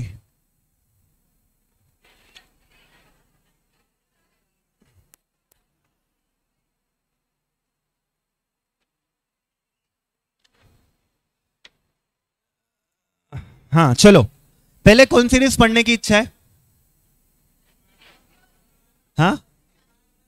एनवायरमेंट को रिस्क है है ना? चलो, ठीक है। एन कोई सोच सकता है कि आईओटी से एनवायरमेंट को क्या रिस्क है? हाँ एक तो रेडिएशन वाली बात। वो पिक्चर देखी होगी ना आपने? अरे, वो बर्ड्स के ऊपर थी। हाँ रोबोट्स टू है ना? अब आप सुनो कि वो वैसे ना एनवायरमेंट को दिक्कत है एनवायरमेंट में रेडिएशन होंगे। बर्ड्स आपने वो देखा कोयल है ना? वो आजकल दिखती नहीं है है ना? ऐसे कुछ होती थी ना बर्ड्स जो छोटी छोटी बर्ड्स होती थी, ना?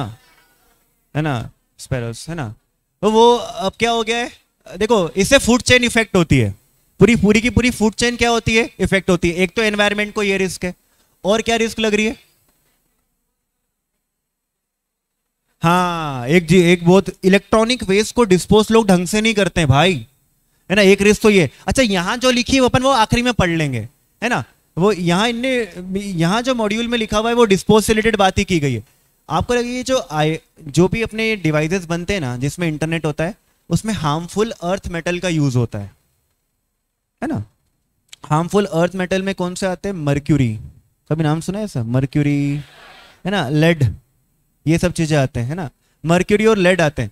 अब दोस्तों, क्या होता है कि अब ये डिवाइसेस इसको ढंग से डिस्पोज नहीं किया इलेक्ट्रॉनिक वेस्ट को ऐसे ही फेंक दिया तो उससे सॉइल पॉल्यूशन हो सकता है। And soil pollution can be very troublesome अपन सोचते हैं सिगरेट फूकने से लेड अंदर जाता है है ना? ये हार्मफुल अर्थ मेटल जाते हैं, लेकिन आप सुनते हैं ना, कोई इंसान सिगरेट भी नहीं फूकता है, फिर भी पता नहीं उसको कहाँ से कैंसर हो गया, ये हो गया, वो हो गया, ऐसा इसलिए क्योंकि उसके खाने में वगैरह में क्या मिलकर आ जाता है? ये lead mercury harmful earth metal मिलकर आएँगे तो दोस्तों ये सारी प्रॉब्लम हो जाएगी। तो जो इलेक्ट्रॉनिक इक्विपमेंट्स यूज़ होते हैं मैकेनिकल इक्विपमेंट्स यूज़ होते हैं, उसमें हार्मफुल अर्थ मेटल का यूज़ होता है, जिससे कि एनवायरमेंट को क्या हो सकती है प्रॉब्लम अगर उसे ढंग से डिस्पोज नहीं किया गया। बहुत सारे लोग क्या करते हैं कि जैसे ये सीपीयू खराब हो गया, आपका पुराना सीपीयू तो आप बोले कबाड़ी, पापा, मम्मी क्या करेंगे, कबाड़ी वाले को उठाकर दे देंगे। अब वो क्या, वो कबाड़ी वाले को क्या फ़ायदा है मालूम है? वो प्रोसेसर निकालेगा इसका और उसको जलाएगा, उसको आग लगा देगा। प्रोसेसर को ऐसा इसलिए कि प्रोसेसर में बहुत कम क्वांटिटी में गोल्ड होता है और सिल्वर होता है। तो वो क्या करता है उसको जलाकर उसको गोल्ड और सिल्वर क्या करना होता है निकालना होता है। लेकिन उस जलाने के टाइम पे क्या होता है कि जो लेड और मर्क्यूरी वो भी तो जलते हैं तो उससे एयर पॉल्यूशन हो जाता है है ना? तो एक तो सॉइल पॉल्यूशन बताया ढंग से डिस्पोज नहीं किया तो। एक मूवी भी थी ऑस्ट्रेलिया से बहुत सारा इलेक्ट्रॉनिक साउथ की मूवी थी वो है ना? वो आ, वो पूरा हाँ सूर्या। हाँ ऐसी कुछ मूवी थी। वो इंडिया के अंदर ई वेस्ट क्या करते थे? लाकर डालते थे, है ना? दैट इज़ वो ऐसा इसलिए क्योंकि इंडिया की पॉलिसी क्या थी? खराब थी। तो आईओटी की वजह से एनवायरमेंट को प्रॉब्लम होगी क्योंकि लोग अगर ढंग से डिस्पोज नहीं करेंगे तो एनवायरमेंट पॉल्यूट हो सकता है। And what kind of pollution water pollution और सॉइल पॉल्यूशन चलिए तो यहाँ लिखते हैं। ना यहाँ पर एयर क्वालिटी खराब हुई है। सॉइल की क्वालिटी क्या होती है? खराब होती है। Environmental risk due to technology now ध्यान से सुनिए बच्चों। क्या ये बात क्लियर है मेरी? है ना? एनवायरमेंट को रिस्क होगी। है ना? इसके ऊपर एयर क्वालिटी पे इंफेक्ट आएगा। क्योंकि देखो, मेरे को कौन सा वर्ड याद था? मैंने भी देखो, पढ़ाते टाइम कौन सा वर्ड बोला? हैवी अर्थ मेटल्स का यूज़ किया जाता है। तो जब भी आप किसको एक्सप्लेन करो एनवायरमेंटल रिस्क को एक्सप्लेन करो तो आपको बात याद रखना कि एयर क्वालिटी सॉइल क्वालिटी की बात कर दो। वाई बिकॉज़ डिवाइसेस के अंदर harmful earth metal like lead and mercury का यूज़ होता है, जिससे कि ये सारे पॉल्यूशन हो सकते हैं। चलो। अब नेक्स्ट आता है बच्चों यूज़र को रिस्क यूज़र को क्या क्या रिस्क है? यूज़र को रिस्क है। अब अब मुझे एक बात बताओ। जनरली वायरसेस किसमें आ सकते हैं? आपके मोबाइल फ़ोन कंप्यूटर्स में आ सकते हैं। लेकिन आज तो हर चीज़ में इंटरनेट है। तो आपके फ्रिज में भी तो वायरस आ सकता है। फ्रिज में। हाँ अरे, क्यों नहीं आ सकता? आपके घर के नेटवर्क में वायरस आ गया तो आपके टीवी में भी क्या आ जाएगा? वायरस आ जाएगा। आपके फ्रिज में भी क्या आ जाएगा? वायरस तो सर वायरस आके फ्रिज में क्या करेगा? भैया, उसकी वर्किंग पता चला कि तुम्हारी फ्रिज का टेम्परेचर ही क्या कर दिया उसने, ऐसा कर दिया, बढ़ा दिया। तुम जब भी निकालो तो तुम्हारा वो जो फ़ूड हो खराब ही रहता है फ्रिज में रखने के बाद भी, क्योंकि वायरस ने कुछ गलत काम वायरस का मतलब क्या होता है? बैड सॉफ्टवेयर जो कुछ भी बुरा काम करेगा। हो सकता है फ्रिज का सॉफ्टवेयर ही उड़ा दे। तो तुम फ्रिज ही क्या ना कर पाओ? यूज़ कर पाओ। आई बात समझ में? तो सिक्योरिटी की रिस्क जो रिस्क सिर्फ़ आपके कंप्यूटर डिवाइसेस से रिलेटेड थी, अब वो हर डिवाइसेस में क्या हो सकती है? रिस्क हो सकती है। आपके हर डिवाइसेस में क्या आ सकते हैं? वायरस आ सकते हैं। आपके घर का टीवी भी हैक हो सकता है। आपका फ्रिज भी क्या हो सकता है? तो that is what the problem is security देखो all equipment connected to network shall hit by the network related risk है ना? अगर नेटवर्क में वायरस आया तो तुम्हारे सारे इक्विपमेंट में क्या आ जाएगा? वायरस आ जाएगा। Every and every each and every equipment will be affected hacking हो जाएगी वायरस है ना? स्टीलिंग कॉन्फिडेंशियल डेटा वो सर, सारी चीज़ें यहाँ से पता चल जाएगी। नाउ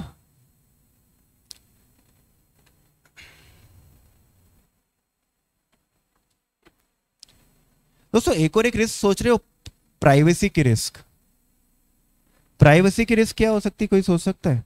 बट इस प्राइवेसी के? तुम्हारे घर का सीसीटीवी कैमरा हैक हो सकता है। तो तुम क्या क्या करते हो? उसकी इंफॉर्मेशन बाहर मार्केट में जा सकती है। है ना? That is what is the greatest risk greatest risk आपकी पर्सनल लाइफ पर्सनल नहीं रहेगी। है ना? आपकी पर्सनल इंफॉर्मेशन क्या हो जाएगी? पर्सनल इंफॉर्मेशन अनऑथराइज पर्सन आपने बहुत सारी मूवीज़ देखी होगी। ये हैकर्स ये हैकर्स क्या, ये कुछ लोग ऐसे नालायक होते जो कमरों में क्या लगा देते कैमरेज वगैरह लगा देते। वो तो ठीक है, वो कमरों में लगा रहे। लेकिन अब तुम्हारे वहाँ ऑलरेडी कैमरे लगे हुए हैं। तो भी तुम क्या करोगे? वो तुम्हारे घर के कैमरे को क्या कर लेगा? हैक कर लेगा। तुम्हारे घर में क्या बातचीत हो रही है? सब चीज़ें क्या कर सकती? सुनाई दे सकती है। They can track your activities इसमें एक एग्ज़ाम्पल लिखा है, बकवास सा एग्ज़ाम्पल है, मैं बता देता हूँ। सी, कुछ चोरों ने चोरी कैसे करी? कुछ चोरों ने चोरी कैसे करी? देखो वो एक घर में उनको चोरी करनी थी तो ये लोग पहले पूरी फील्डिंग करते हैं। फील्डिंग का मतलब? हाँ प्लानिंग है ना? फील्डिंग का मतलब एक्चुअली में क्या होता है? प्लानिंग करते कि किस टाइम पे जाना चाहिए, किस टाइम पे नहीं ऑल दोस थिंग्स तो इनको ये पता चला, उनके ये चोर थोड़े हाईटेक चोर थे। तो इनने क्या करा कि उस पर्सन के घर का सीसीटीवी को क्या कर लिया? हैक कर लिया। और उनको पता चला कि रात को ये बारह बजे बियर पीता है है ना? तो रात को 12 बजे 11 बजे ये क्या पीता है? बियर पीता है दो तीन बियर के बाद थोड़ा टुन हो जाता है। तो बेटर है कि किस टाइम अटैक करना चाहिए? 11 12 बजे जाना चाहिए तो उसको होश नहीं रहेगा। So that is what is the example तो आप सोचो आपका घर हैक करके पता कर लिया कि योर एक्टिविटीज़ एंड फिर चोरी आसान हो गई। ये लिखा हुआ है uh, ये लिखा हुआ है person daily eats a burger at twelve and takes bottle of chilled hard drink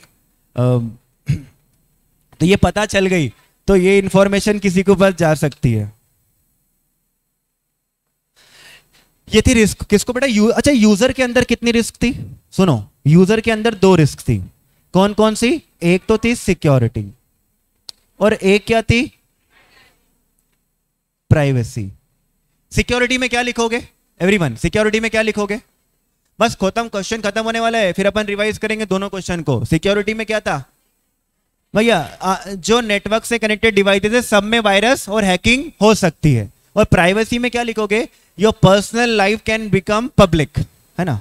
Your personal life can become public that is privacy के रिस्क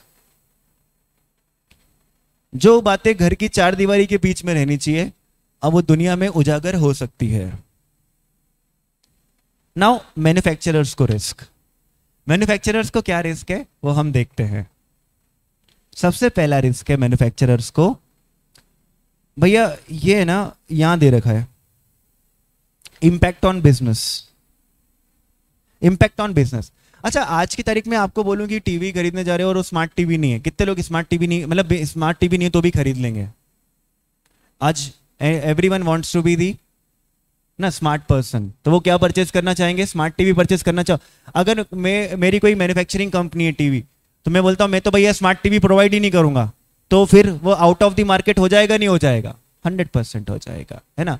सो so, आपके बिज़नेस पे क्या आ सकता है? इम्पैक्ट इन्हें ये लिखा है कि आईओटी नहीं देंगे है ना? देखो इनके बोलने का तरीका ऐसा है कि मैन्युफैक्चरर्स को क्या रिस्क है? अगर ये आईओटी अनेबल डिवाइसेस प्रोवाइड नहीं करेंगे तो ये आउट ऑफ़ दी क्या हो जाएँगे? बिज़नेस हो जाएँगे है ना? Manufacturers may be out of business in few years if IoT becomes he necessary ठीक है? ऐसे बहुत सारे टीवी जैसे वीडियोकॉन वगैरह, ये सब चीज़ें क्या हो गए? सब बाहर हो गए, आप देखते होंगे ऐसे ना? उसका रीजन यही था कि ये आईओटी इतनी जल्दी स्मार्ट टीवी इतनी जल्दी लॉन्च नहीं कर पाए। मैं आपको, चलो ये, देखो, ये तो बकवास रिस्क है यार। ये तो ये तो कोई रिस्क भी नहीं है तो ली नहीं लिखना चाहिए थी ये रिस्क सबसे इंपॉर्टेंट रिस्क बताऊँ क्या है? अब अब आप, जैसे आपने किसी से वॉशिंग मशीन परचेज करी तो वॉशिंग मशीन इंटरनेट से कनेक्टेड है एंड सेंसर से। तो जो वॉशिंग मशीन जैसे वर्लपूल की खरीदी आपने तो वर्लपूल वालों के पास आपके घर के यूज़र आईडी पासवर्ड होंगे वाईफाई के। बताओ कैसे? वो कनेक्टेड है ना वाईफाई कनेक्टिविटी है तो आपने उसमें क्या करा होगा? पासवर्ड वगैरह डाला होगा तो वो सारी चीज़ें कहाँ पर होगी? उनके पास होगी। चलो ठीक है, उनके पास है, मैं ये नहीं बोलता हूँ कि वो कुछ गलत करेंगे। ना, वो उसका मिसयूज नहीं करेंगे। लेकिन एक बात ये बताओ कि गलती से उनसे लीक हो गया तो क्या उनकी वजह से आपको प्रॉब्लम हो गई? आपके घर का नेटवर्क हैक हो गया और आपको प्रॉब्लम हो गई। तो डोंट यू थिंक कि उन्हें कॉम्पनसेशन देना पड़ जाएगा? अभी सेम हुआ था फेसबुक के साथ। फेसबुक डेटा लीक करके, आपने सुना होगा ना? फेसबुक को बहुत भारी पेनल्टी भरनी पड़ी थी। अपन पढ़ेंगे, इसके बारे में कहीं ना कहीं किसी और चैप्टर में पढ़ेंगे फेसबुक के बारे में। डेटा लीक के प्रॉब्लम आती तो मैन्युफैक्चरर्स के पास आपका कॉन्फिडेंशियल डेटा हो सकता है। अगर वो लीक हो जाए उनसे तो उन्हें क्या देना पड़ सकता है? कॉम्पनसेशन देना पड़ सकता है। ठीक है? तो ये डेटा स्टोरेज क्या बोल रहे हैं? सर थोड़े टाइम पहले डोमिनोज के साथ भी हुआ था। हुआ? I don't know I don't know हुआ होगा। है ना I don't know what is तो ये बात लिखा है। देखो losing this data may be disastrous for the entity losing this data can be disastrous see I अपना इंफॉर्मेशन टेक्नोलॉजी एक्ट है उसका एक सेक्शन 43 ए है। ये मैं पढ़ाऊँगा आप लोगों को। लेकिन यहाँ उसका कनेक्शन है इसलिए बता रहा हूँ। Section 43 A of the IT act 2000 उसमें यह बोला है कि अगर कोई भी आपका कॉन्फिडेंशियल डेटा को प्रोटेक्ट नहीं कर पाता है, आपने प्रॉपर कंट्रोल नहीं लगाए थे और उससे वो कॉम्प्रोमाइज हो गया, वो डेटा लीक हो गया तो जिसका डेटा लीक हुआ है, उसको जो नुकसान होगा, उसकी भरपाई आपको करनी पड़ेगी। क्या देना पड़ जाएगा? कॉम्पनसेशन देना पड़ जाएगा। तो मैन्युफैक्चरर्स को रिस्क तो ये हो गया कि वो बिज़नेस से बाहर हो जाएँगे। दूसरी रिस्क क्या हो गई? डेटा स्टोरेज की रिस्क चलो, ये वाला पॉइंट क्या है? सोच के बताओ, पढ़ो उसको। इंटेंशनल ऑप्सलेंस ऑफ़ डिवाइसेस और कोई कोई इसका एग्जांपल दे सकता है? सोच।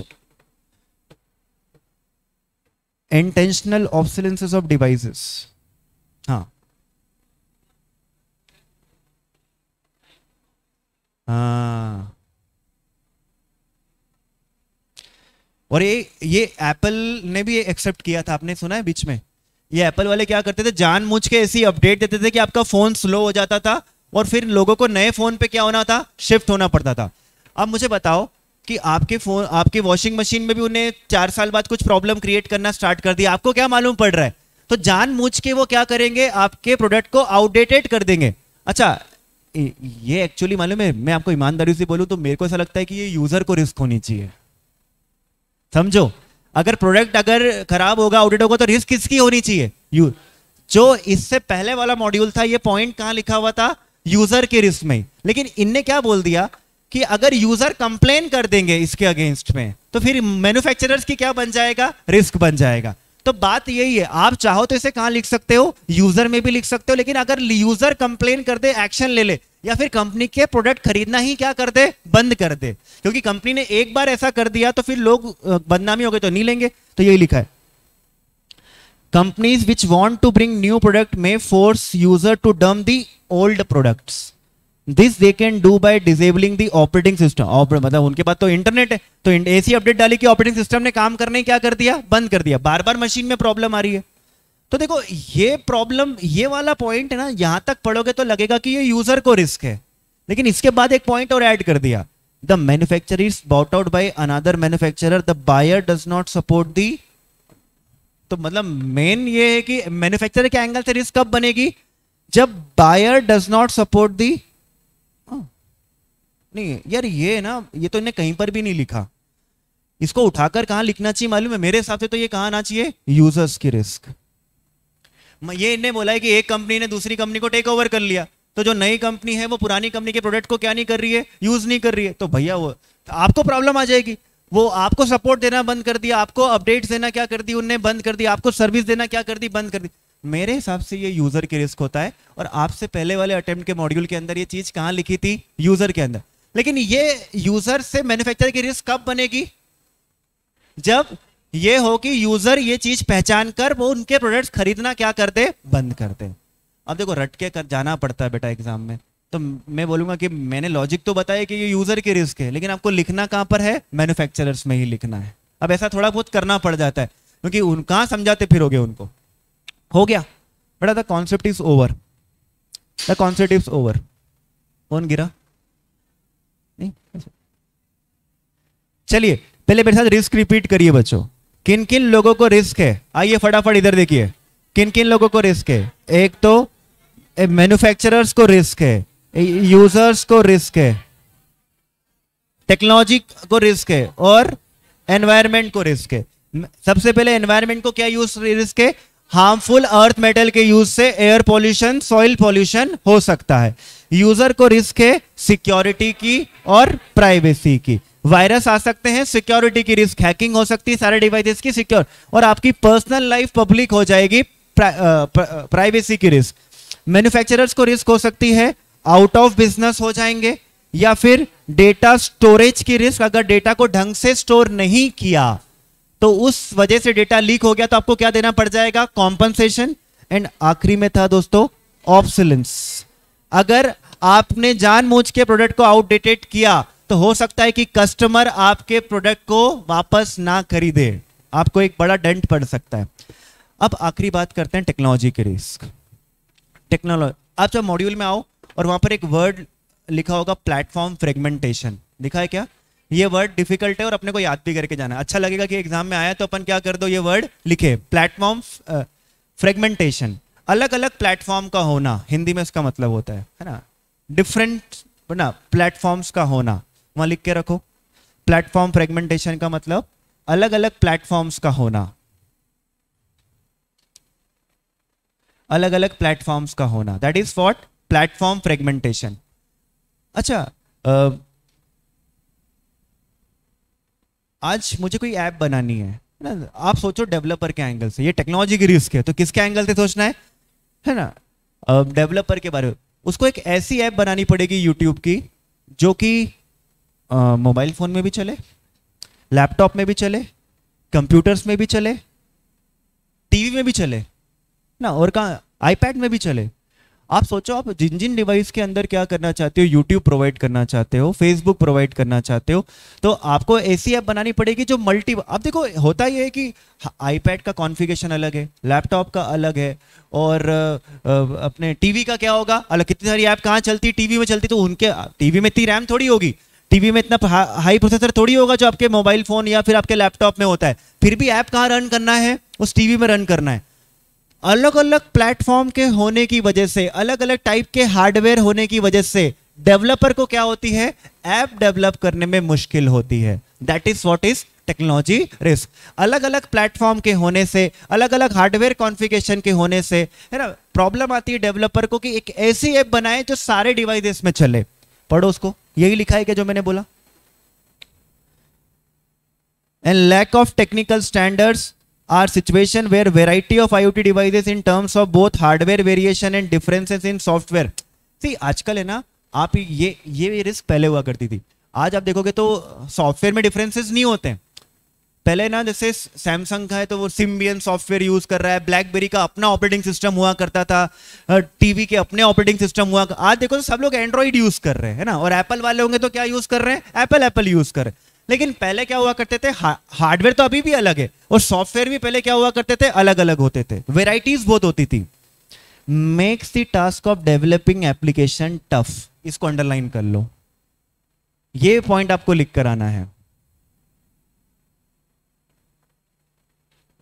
हाँ बिल्कुल ऐसा हो सकता है। सर्च ने एक चीज़ ये भी बोली सर मैन्युफैक्चर को एक रिस्क ये भी हो सकती है कि कोई और कंपनी कोई और कंपनी उनके प्रोडक्ट्स को क्या कर सकती है? प्रॉब्लम में डाल सकती है। बिल्कुल। अब ये पॉइंट आउटडेटेड है देखो दोस्तों। आज की तारीख में मुझे नहीं लगता अब, अब, सारे के सारे टीवीज जो होते हैं या तो वो आईओएस वाले होते हैं या तो फिर वो क्या होते हैं एंड्रॉइड वाले। दूसरे तो कोई ऑपरेटिंग सिस्टम चलते नहीं है। ब्लैकबेरी तक क्या हो गया दोस्तों अभी? है ना बंद हो गया। अब तो कहाँ चलता है ब्लैकबेरी है ना? तो अब, ठीक है, लेकिन लिखेंगे अब, ये पॉइंट है तो लिखना पड़ेगा। मैंने बोला, ये बुक कब थोड़ी पुरानी है। ये पॉइंट यहाँ पर होगा तो लिखना पड़ेगा। खत्म। दो टॉपिक हमारे हो गए इस चैप्टर के। है ना? चलिए, फटाफट से बोलिए, पहला टॉपिक कौन सा पढ़ा था? बायोड है ना? बायोड क्या अच्छा ये क्यों करवाता हूँ मैं? ये मेरे, इससे मेरी मेहनत बढ़ती है, मुझे चिल्लाना पड़ता है। लेकिन ये इसलिए कि ताकि आपको चीज़ें समझने के बाद क्या हो जाए? याद हो जाए। और ऐसा अपन हर क्वेश्चन के बाद करते रहेंगे, जिससे कि आपके पास मल्टीपल रिवीजन क्लास में ही हो जाए। चैप्टर जब खत्म होगा, एक घंटे का पूरा वीडियो प्रोवाइड कर दूँगा, जिसमें कि सारे के सारे टॉपिक को मैंने फास्ट बोला होगा। आपको जब भी वो चैप्टर रिवाइज करना है, वो एक घंटे का वीडियो देख लो, आपका काम हो जाएगा। प्लस चैप्टर खत्म होते से ही हम चैप्टर खत्म क्या, हर वीक टेस्ट होंगे? ये वाला वीक नहीं, अगले वीक से हर वीक क्या होंगे आपके? टेस्ट होंगे। चैप्टर खत्म होने के बाद उस चैप्टर का क्या होगा? टेस्ट होगा। सो so, और ये सारी प्रोसेस हम चलती रहेंगे। मतलब आपको क्लास करने मतलब ये सब्जेक्ट को मेरे साथ पढ़ने के बाद आई विश कि आपको ये सब्जेक्ट कभी पढ़ना ना पड़े। और इसके बाद मैं आईएमपी क्वेश्चन दूँगा एग्ज़ाम टाइम में हो सकता है कि वो आ जाए तो बहुत ही अच्छी बात है है ना? लेकिन मैं आईएमपी में क्या करता हूँ मतलब मैं थोड़ी चीटिंग करता हूँ। मैं आपको पहले बता देता हूँ। जो क्वेश्चन मुझे पता है जैसे आईओटी ये आईओटी का क्वेश्चन तो बहुत ईजी है और मुझे मालूम है कि इंपॉर्टेंट भी है लेकिन मैं इसको दूँगा ही नहीं आईएमपी के अंदर। डैनी ये कभी मैं नहीं दूँगा। क्योंकि मुझे पता होता है कि स्टूडेंट को कौन कौन से क्वेश्चन क्या हो जाते हैं? याद हो जाते हैं। जो कभी भी आएगा तो वो एग्ज़ाम में क्या कर सकता है? लिख सकता है that question will not be in I और जो क्वेश्चन थोड़े से डिफ़िकल्ट होते हैं जो स्टूडेंट्स होते हैं कि चलो छोड़ देते हैं। और वो क्वेश्चन को मैं कहाँ दे देता हूँ? आईएमपी के अंदर। तो एक तो जो आता है वो तो उनको आता ही आता है। जो नहीं आता है वो भी उनको आ जाता है। तो पेपर ऑटोमेटिक क्या जाता है? अच्छा ये ना। सो so, ये बात याद रखना ये मेरी चीटिंग मैं आपको पहले से ही बोल देता हूँ। चलो आ जाइए। बायोड बायोड बायोड बायोड बायोड बायोड। कॉन्सेप्ट समझ मेरे को मालूम है कॉन्सेप्ट सबको समझ में आया। पहले बोलो happy employees increase in employ efficiency early adoption of new IT technology lower IT budget it reduces support requirement पीछे वालों क्लियर ये बात? चलो डैनी बोलो D for device risk A for application risk N for network risk I for implementation risk है ना? IoT के application बोलना है home appliances office appliances Swachh Bharat human chip wearables फिर smart city smart grid smart retail smart supply chain connected car connected health और risk risk किसको थी? चार। मैन्युफैक्चरर्स यूज़र्स टेक्नोलॉजी एनवायरमेंट ठीक है। यूज़र को क्या रिस्क सिक्योरिटी प्राइवेसी मैन्युफैक्चरर को risk out out of the business data storage की रिस्क और ऑप्सलेंस की रिस्क जो कि यूज़र की थी लेकिन नालायकों ने वहाँ लिख दी। और फिर था टेक्नोलॉजी को रिस्क क्या थी? प्लेटफॉर्म फ्रेगमेंटेशन का होने से अलग अलग सॉफ्टवेयर अलग अलग डिवाइसेस अलग अलग हार्डवेयर की वजह से क्या डेवलप करने में ऐप डेवलप करने में प्रॉब्लम होती है? है ना? अब जैसे मेरे को मैं ऐसे में एग्जैक्ट सेम नहीं मेरे को याद रहेगा कि due to platform fragmentation there are various kind of hardware and software अब मैंने वेराइटी नहीं लिखा। मैंने क्या लिखा? काइंड जिसकी जैसी इंग्लिश है, वो वैसा लिखेगा। तो आपको कुछ अंदर के वर्ड्स भी याद करने अपन बाहर का याद करते एक दो वर्ड अंदर के वर्ड पकड़ लो और उससे रिलेटेड क्या बना दो? सेंटेंसेस डन और एनवायरमेंट को रिस्क में मुझे याद रहता है harmful earth metal air pollution soil pollution जब ये इस पर अंडरलाइन कर दिया your answer will be as per the module आ जाइए नेक्स्ट क्वेश्चन पे. Next question that is green computing अभी आज टाइम थोड़ा ज़्यादा है बेटा मेरे पास, है ना? बस ये क्वेश्चन खत्म. ये क्वेश्चन के बाद अपन खत्म कर देंगे. Green computing GC green computing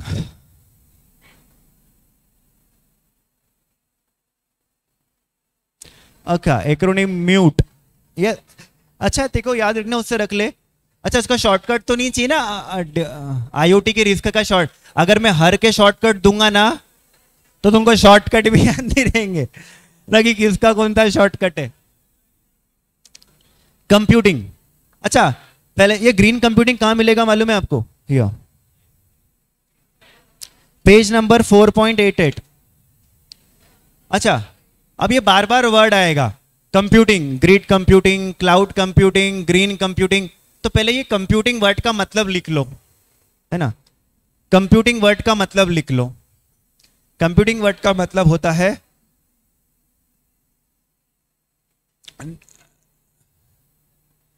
using of computer बस।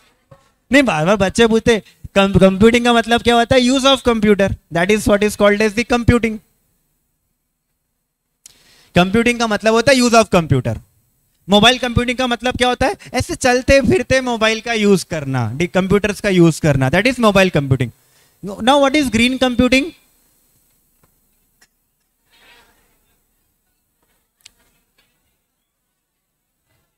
बेटा, ए, देवी, तू मास्क पहन के बैठी है?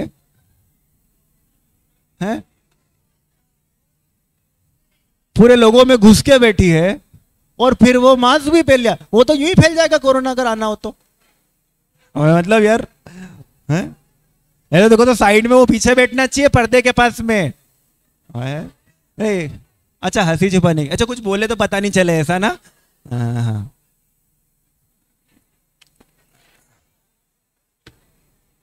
चलिए। कुछ क्या बोल कुछ बोल रहे थे? नहीं? आप अपने आप में हंस लोगे मुझको नहीं बोलोगे कुछ? ग्रीन कंप्यूटिंग का मतलब होता है एनवायरमेंटल फ्रेंडली तरीके से कंप्यूटर्स का यूज़ करना। अरे, ऐसे कंप्यूटर नहीं एनवायरमेंटल फ्रेंडली तरीके से कंप्यूटर का यूज़ करना। आपके कंप्यूटर के यूज़ करने से एनवायरमेंट को प्रॉब्लम नहीं होनी चाहिए। आपके एन क्या बोलते आपके कंप्यूटर के यूज़ करने के वजह से एनवायरमेंट को प्रॉब्लम नहीं होनी चाहिए। इंग्लिश में बोलना चाहे तो environmental friendly using of computer is called as the green computing you to use the computer in environmental friendly manner अब देखो, बहुत सारे लोग क्या क्या गलतियाँ करते हैं और उन्हें जो नहीं करनी चाहिए कंप्यूटर के यूज़ करते टाइम इसको बोलते हैं ग्रीन कंप्यूटिंग बेस्ट प्रैक्टिसेस क्या कहते हैं? ग्रीन कंप्यूटिंग बेस्ट प्रैक्टिसेस बस ये क्वेश्चन पढ़ेंगे we have only five points and very easy points and you can go तीन हमारे टॉपिक हो जाएँगे इस चैप्टर के। You feeling this subject difficult और easy it will always be an easy subject and very easy to score. Green computing अब सुनना। Computer का यूज़ करते टाइम कुछ बेस्ट प्रैक्टिसेस है। है ना? बेस्ट प्रैक्टिसेस सबसे पहले ना आ, क्या करिए? कंजर्व एनर्जी देखो, ढूंढो, ये पॉइंट है क्या लिखा हुआ? कंजर्व एनर्जी एनर्जी को बचाइए। जब आप कंप्यूटर का यूज़ कर रहे हैं, तब एनर्जी ज़्यादा नहीं जाना। Energy energy energy energy sir energy मतलब क्या? हम समझे नहीं, सर. इलेक्ट्रिसिटी है ना? दैट इज़ इलेक्ट्रिसिटी इसको आपको क्या करना है? बचाना है। आइए ये पॉइंट पे। अच्छा मुझे बताओ, क्यों बचाना है भाई? एनर्जी बचाने से क्या होगा? क्या नुकसान हो रहा है एनवायरमेंट को?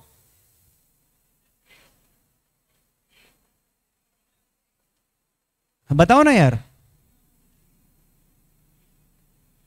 अरे, नहीं मालूम। मैं तुम्हारे लाइट का बटन बंद करने से लाइट बचेगी तो उसका क्या फ़ायदा? अरे बनिया है क्या? बनिया? अच्छा बनिया हो क्या भैया? है ना? अब ये इनका तो इनका मोटिव ये है कि बिल क्या आएगा? कम आएगा, है ना? और, है ना? एक तो ठीक।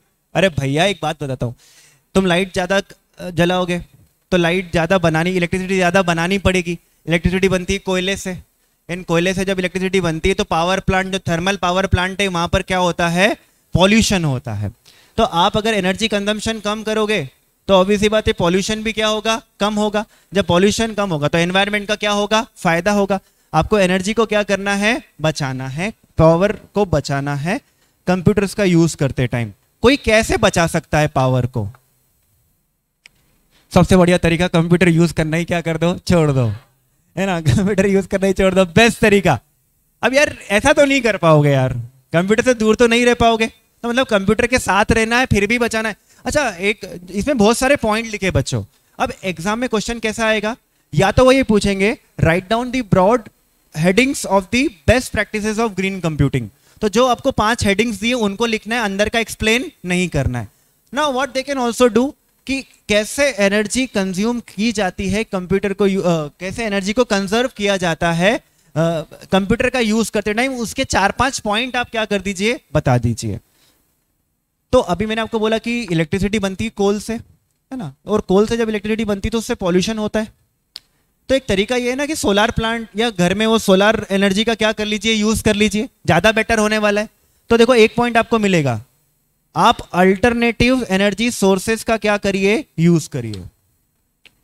Alternate energy sources for work station servers data centres etcetera अब सुनो आप आप बोलेंगे, सर, एक एक सर्वर वर्ड बार बार सुनने में आता है। तो what is the difference between a computer and a server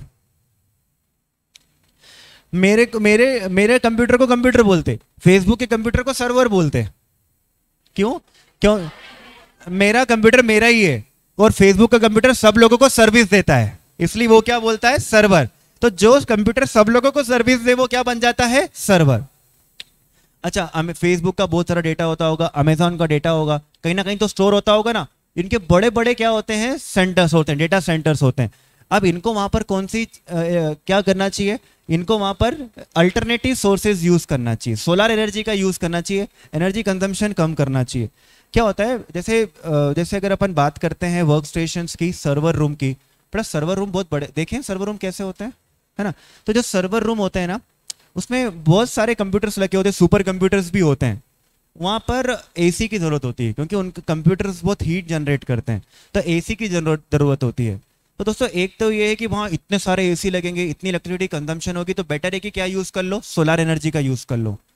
और है ना, एक अमेजोन ने एक बहुत अच्छा काम किया है अभी। उन्होंने ये किया कि अपने जितने भी वर्क स्टेशन है, जहाँ पर वो काम करते हैं, या जहाँ डेटा सेंटर से जहाँ डेटा क्या करते हैं स्टोर करते हैं, है ना? वो सारी चीज़ें उन्हें ग्रीनलैंड में स्टैब्लिश कर दी है। उन्हें ग्रीनलैंड में बहुत ज़मीन ली और वहाँ पर क्या कर दिया? ये सारे सर्वर्स वगैरह स्टैब्लिश कर दिए। ऐसा क्यों किया बताओ? वो ठंडा है तो वहाँ पर एसी की ज़रूरत ऑटोमेटिक ही क्या होगी? कम होगी। तो जब ज़रूरत ही नहीं एसी की तो फिर वहाँ पे एनर्जी भी क्या होगी? कंजर्व होगी। तो आपको ऐसे तरीके अपना, हम कंप्यूटर से दूर नहीं रह पाएँगे, लेकिन हमें ऐसे तरीके अपनाने पड़ेंगे जिससे कि एनर्जी का क्या किया जाए? कंजर्व वर्क स्टेशन जिस कंप्यूटर पे काम होता है, उसको वर्क स्टेशन कहते हैं। जहाँ डेटा स्टोर होता है, वहाँ पर क्या कहते हैं? डेटा सेंटर कहते हैं। सर्वर्स होते हैं, है ना? जो बहुत सारे लोगों को क्या प्रोवाइड करते हैं? सर्विसेज़ प्रोवाइड करते हैं।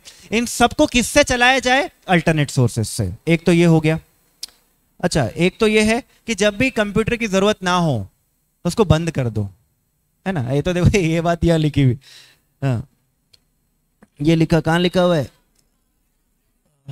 हाँ। पावर है नहीं हाँ power down the CPU and all fair during extended period of inactivity जब इनएक्टिव है तो क्या कर दीजिए? इसलिए आप ये पावर मैनेजमेंट फीचर का क्या करते? यूज़ करते। करते नहीं करते अपने फ़ोन में? नहीं करते। अरे एक मिनट अगर इनएक्टिव है तो ऑटोमेटिक स्क्रीन क्या हो जाती है? ऑफ़ हो जाती है। That's what you do in your mobile phone and that's what everyone do in the computers है ना? पावर अच्छा आ, ये तो हो गया। फिर try to do computer related works during intensive blocks of time leaving hardware off at other times. इसका मतलब ये है कि बार बार बंद चालू नहीं करना है। एक साथ काम कर लो। बार क्योंकि जब चालू होता है तो फिर एनर्जी क्या होती है? ज़्यादा लगती है ना? लाइक लेट्स वॉट कि बार बार बंद चालू करोगे ना एक बार चालू कर दिया तो पूरा काम एक साथ कर लो। फिर ये भी है use notebook rather than desktop computer ऐसा क्यों बोला? आ, अरे डेस्कटॉप ज़्यादा एनर्जी कंज्यूम करता है। और लैपटॉप और आईपैड क्या होते हैं? जो लाइटर होते हैं, वो थोड़ी एनर्जी क्या करते हैं? कम कंज्यूम करते हैं। तो ये यूज़ करिए भाई। ये यूज़ करिए। तो ये न्यूज़ नोटबुक का यूज़ करना है। और सीपीयू का बंद कर देना है। और क्या अल्टरनेट एनर्जी का आप क्या कर सकते हो? यूज़ कर सकते हैं। अच्छा प्रिंटर अलग लेना चाहिए स्कैनर अलग लेना चाहिए फैक्स अलग लेना चाहिए फोटोकॉपियर अलग लेना चाहिए कि एक ही लेना चाहिए? हाँ अच्छा ना एनर्जी कंजम्पशन क्या होगा उससे? कम ही होगा, है ना? That is you can do it एक किलो नोटबुक बेटा नोटबुक का मतलब होता है एक स्लिम लैपटॉप है ना बेसिकली छोटा लैपटॉप वो काम तो लैपटॉप के जैसे ही करता है। This is like iPad I am using right now that is what a notebook only ना? उसके ठीक है। अच्छा ये वाला पॉइंट भी लिख सकते क्या? एलसीडी और सीआरटी कभी पता सीआरटी कैसे होते थे? कंप्यूटर्स मॉनिटर वो एक ऐसा मॉनिटर होता था, पीछे से बॉक्स बहुत बड़ा सा मॉनिटर होते थे, पुराने मॉनिटर्स है ना? आपकी स्कूल लैब में आपने कभी देखे हो कभी, है ना? है ना? वो वाले मॉनिटर यूज़ नहीं करने चाहिए। कौन से करने चाहिए? एलसीडी मॉनिटर्स अब देखो, मैं क्या करता हूँ? हाँ? हाँ अब तो और आप तो एलईडी यूज़ करिए, बिल्कुल। तो एलईडी और अच्छे है। वो और कम एनर्जी कंज्यूम करेंगे। अब मैंने बोला ना बुक थोड़ी सी क्या है? पुरानी है। तो जो वर्ड्स यहाँ लिखे रहेंगे, थोड़े से पुराने रहेंगे। और बहुत सारी नई नई टेक्नोलॉजी आती जा रही है जो कि एनर्जी को क्या करती है? अब आप देखो ना, पहले के फ़ोन हुआ करते थे तो बैटरी ड्रेन कितना फास्ट हुआ करता था। अब नई नई टाइप की स्क्रीन आने लग गई तो फिर बैटरी ड्रेन भी क्या हो रही है? कम हो रही है।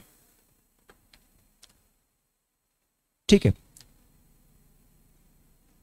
तो कितने पॉइंट याद रखना है बच्चों? अच्छा ये वाला पॉइंट का मतलब बताओ। ये वाले पॉइंट का मतलब बताओ।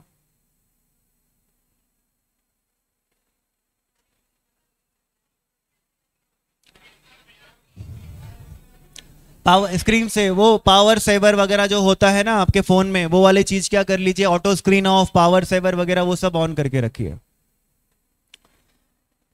Done then develop a thin client strategy now this thin client strategy क्या है? जरा ध्यान से सुनिएगा।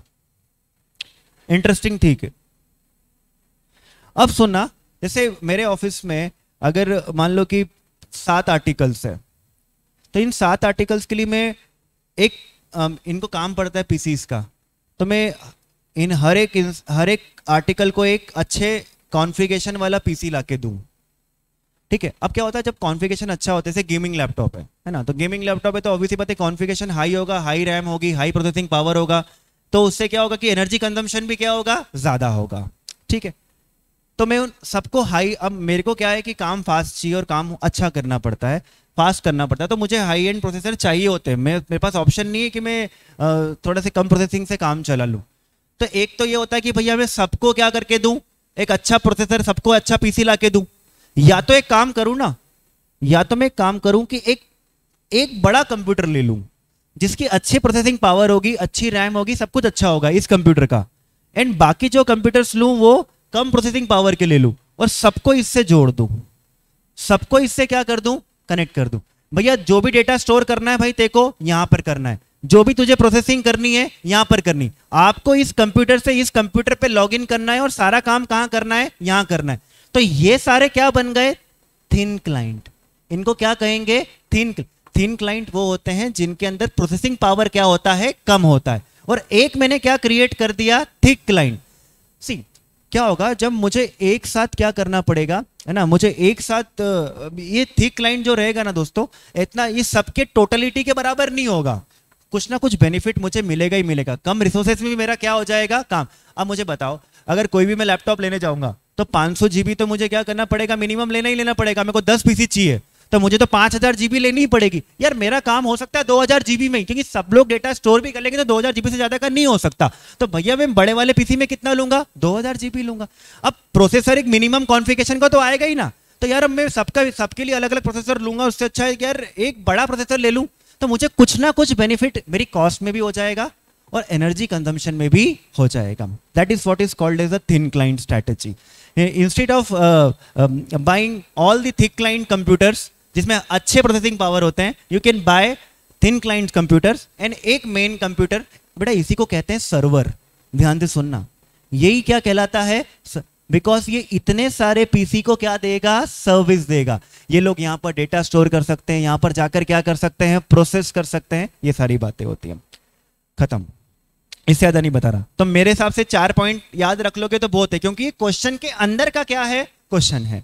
तो इसके चार पॉइंट्स भी क्या होंगे दोस्तों? इनफ मैं हमेशा एलसीडी सीआरटी लिख कर आऊँगा पहला पॉइंट नोटबुक का भी लिख कर आऊँगा कि नोटबुक यूज़ करना है। और पावर ऑफ़ करना है पावर मैनेजमेंट फीचर्स का यूज़ करना है। सोलर एनर्जी का हमें क्या करना है? यूज़ करना है। और किसी को याद रहे कि थिन क्लाइंट स्ट्रेटेजी क्या करनी है? डेवलप करनी है, जहाँ पर हर कंप्यूटर के पास कंप्लीट प्रोसेसिंग पावर नहीं होगी। मतलब एक मिनिमम प्रोसेसिंग पावर होगी और एक थिक क्लाइंट होगा जिसके अंदर क्या होगी? कंप्लीट प्रोसेसिंग पावर आगे बढ़ जाऊँ। नेक्स्ट फटाफट से पढ़ते हैं। फिर अ, ये है आज अपने पास हाँ ठीक है। रिड्यूस पेपर कंजम्पशन है। एवरीवन कंप्यूटर का यूज़ करते टाइम आपको पेपर कंजम्पशन क्या करना है? कम करना है। बेसिकली है ना अ, क्योंकि कंप्यूटर जब यूज़ करते हो तो प्रिंटर यूज़ होता है। और जब प्रिंटर यूज़ होता है साथ में पेपर यूज़ होता है। पेपर से प्रॉब्लम क्या है? पेड़ कटेंगे। पेड़ कटेंगे ना जंगल कम होगा। जंगल कटेगा। तो जंगल कटेगा तो जानवर कहाँ आ जाएँगे? नहीं, मैंने ऐसा नहीं बोला था इस बार। इस बार तो तुम कितने अच्छे बच्चे बन के सुन रहे थे तुम्हारे। तो क्या होगा प्रॉब्लम है, पेड़ कटेगा, बारिश नहीं होगी दोस्तों। तो फिर बारिश नहीं होगी तो जो बारिश का माहौल होता है, जो बारिश का आनंद होता है, वो फीलिंग कैसे आएगी? है ना? तो बारिश का मौसम ऐसे अभी हो रहा है हल्का हल्का ना? दो तीन दिन से गर्मी कम है यहाँ पे। आप लोगों को कहीं ट्रिप ट्रिप पे घुमाने उमाने लेकर जा रहे हैं कि नहीं आ रहे हैं? हाँ? कहीं नहीं लेके जा रहे हैं? भैया, कहीं प्लानिंग करवा लो, सर से कहीं जाओ घूमने घूमने के लिए यार। हैं? हाँ? मांडव चलते हैं। मांडव गए हो? हैं? मांडव चले? आप बोलो तो। थोड़ी गर्मी के बाद, बारिश में। है ना? जून के महीने में चलेंगे। ऑनलाइन वाले भी आ जाना जो आ सकता हो। चलो। ओ, इधर आओ। ओ रहने दो आ जाओ। अब पेपर कंजम्पशन कैसे कम करना है? वो पेपर कंजम्पशन कैसे कम करूँ भाई? हेलो ये कोई तरीका बता ना मुझे इनवॉइस मैं क्लाइंट को इनवॉइस निकाल के प्रिंट निकाल के दूँ कि ईमेल कर दूँ? हाँ यूज़ ईमेल ईमेल का यूज़ कर लो. ईमेल का यूज़ कर लो. हाँ मतलब सॉफ्ट कॉपी प्रोवाइड करो. देन uh, वो पेपर वो वाली मार्केटिंग मत करो. पर्चे बांटते ना वो. हाँ पैम्पलेट्स है ना? दैट्स वो तो वो वो मत करो. ऑनलाइन डिजिटल मार्केटिंग करो. फेसबुक पे आजकल तो सब लोग वही करने लग गए. क्योंकि मैक्सिमम स्टूडेंट्स वहीं तो मिलते हैं आज की तारीख में. फेसबुक इंस्टाग्राम कितने घंटे यूज़ करते होंगे ऑन एन एवरेज देखो, सुबह उठते थे तो रील्स चालू हो जाती होगी। रात को सोते टाइम रील्स नहीं, दस मिनट।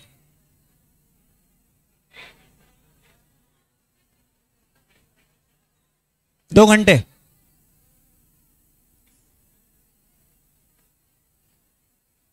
और क्लासेस कितने टाइम चलती तुम्हारी? सवा आठ से अभी जब मैं छोड़ूँगा जब तक।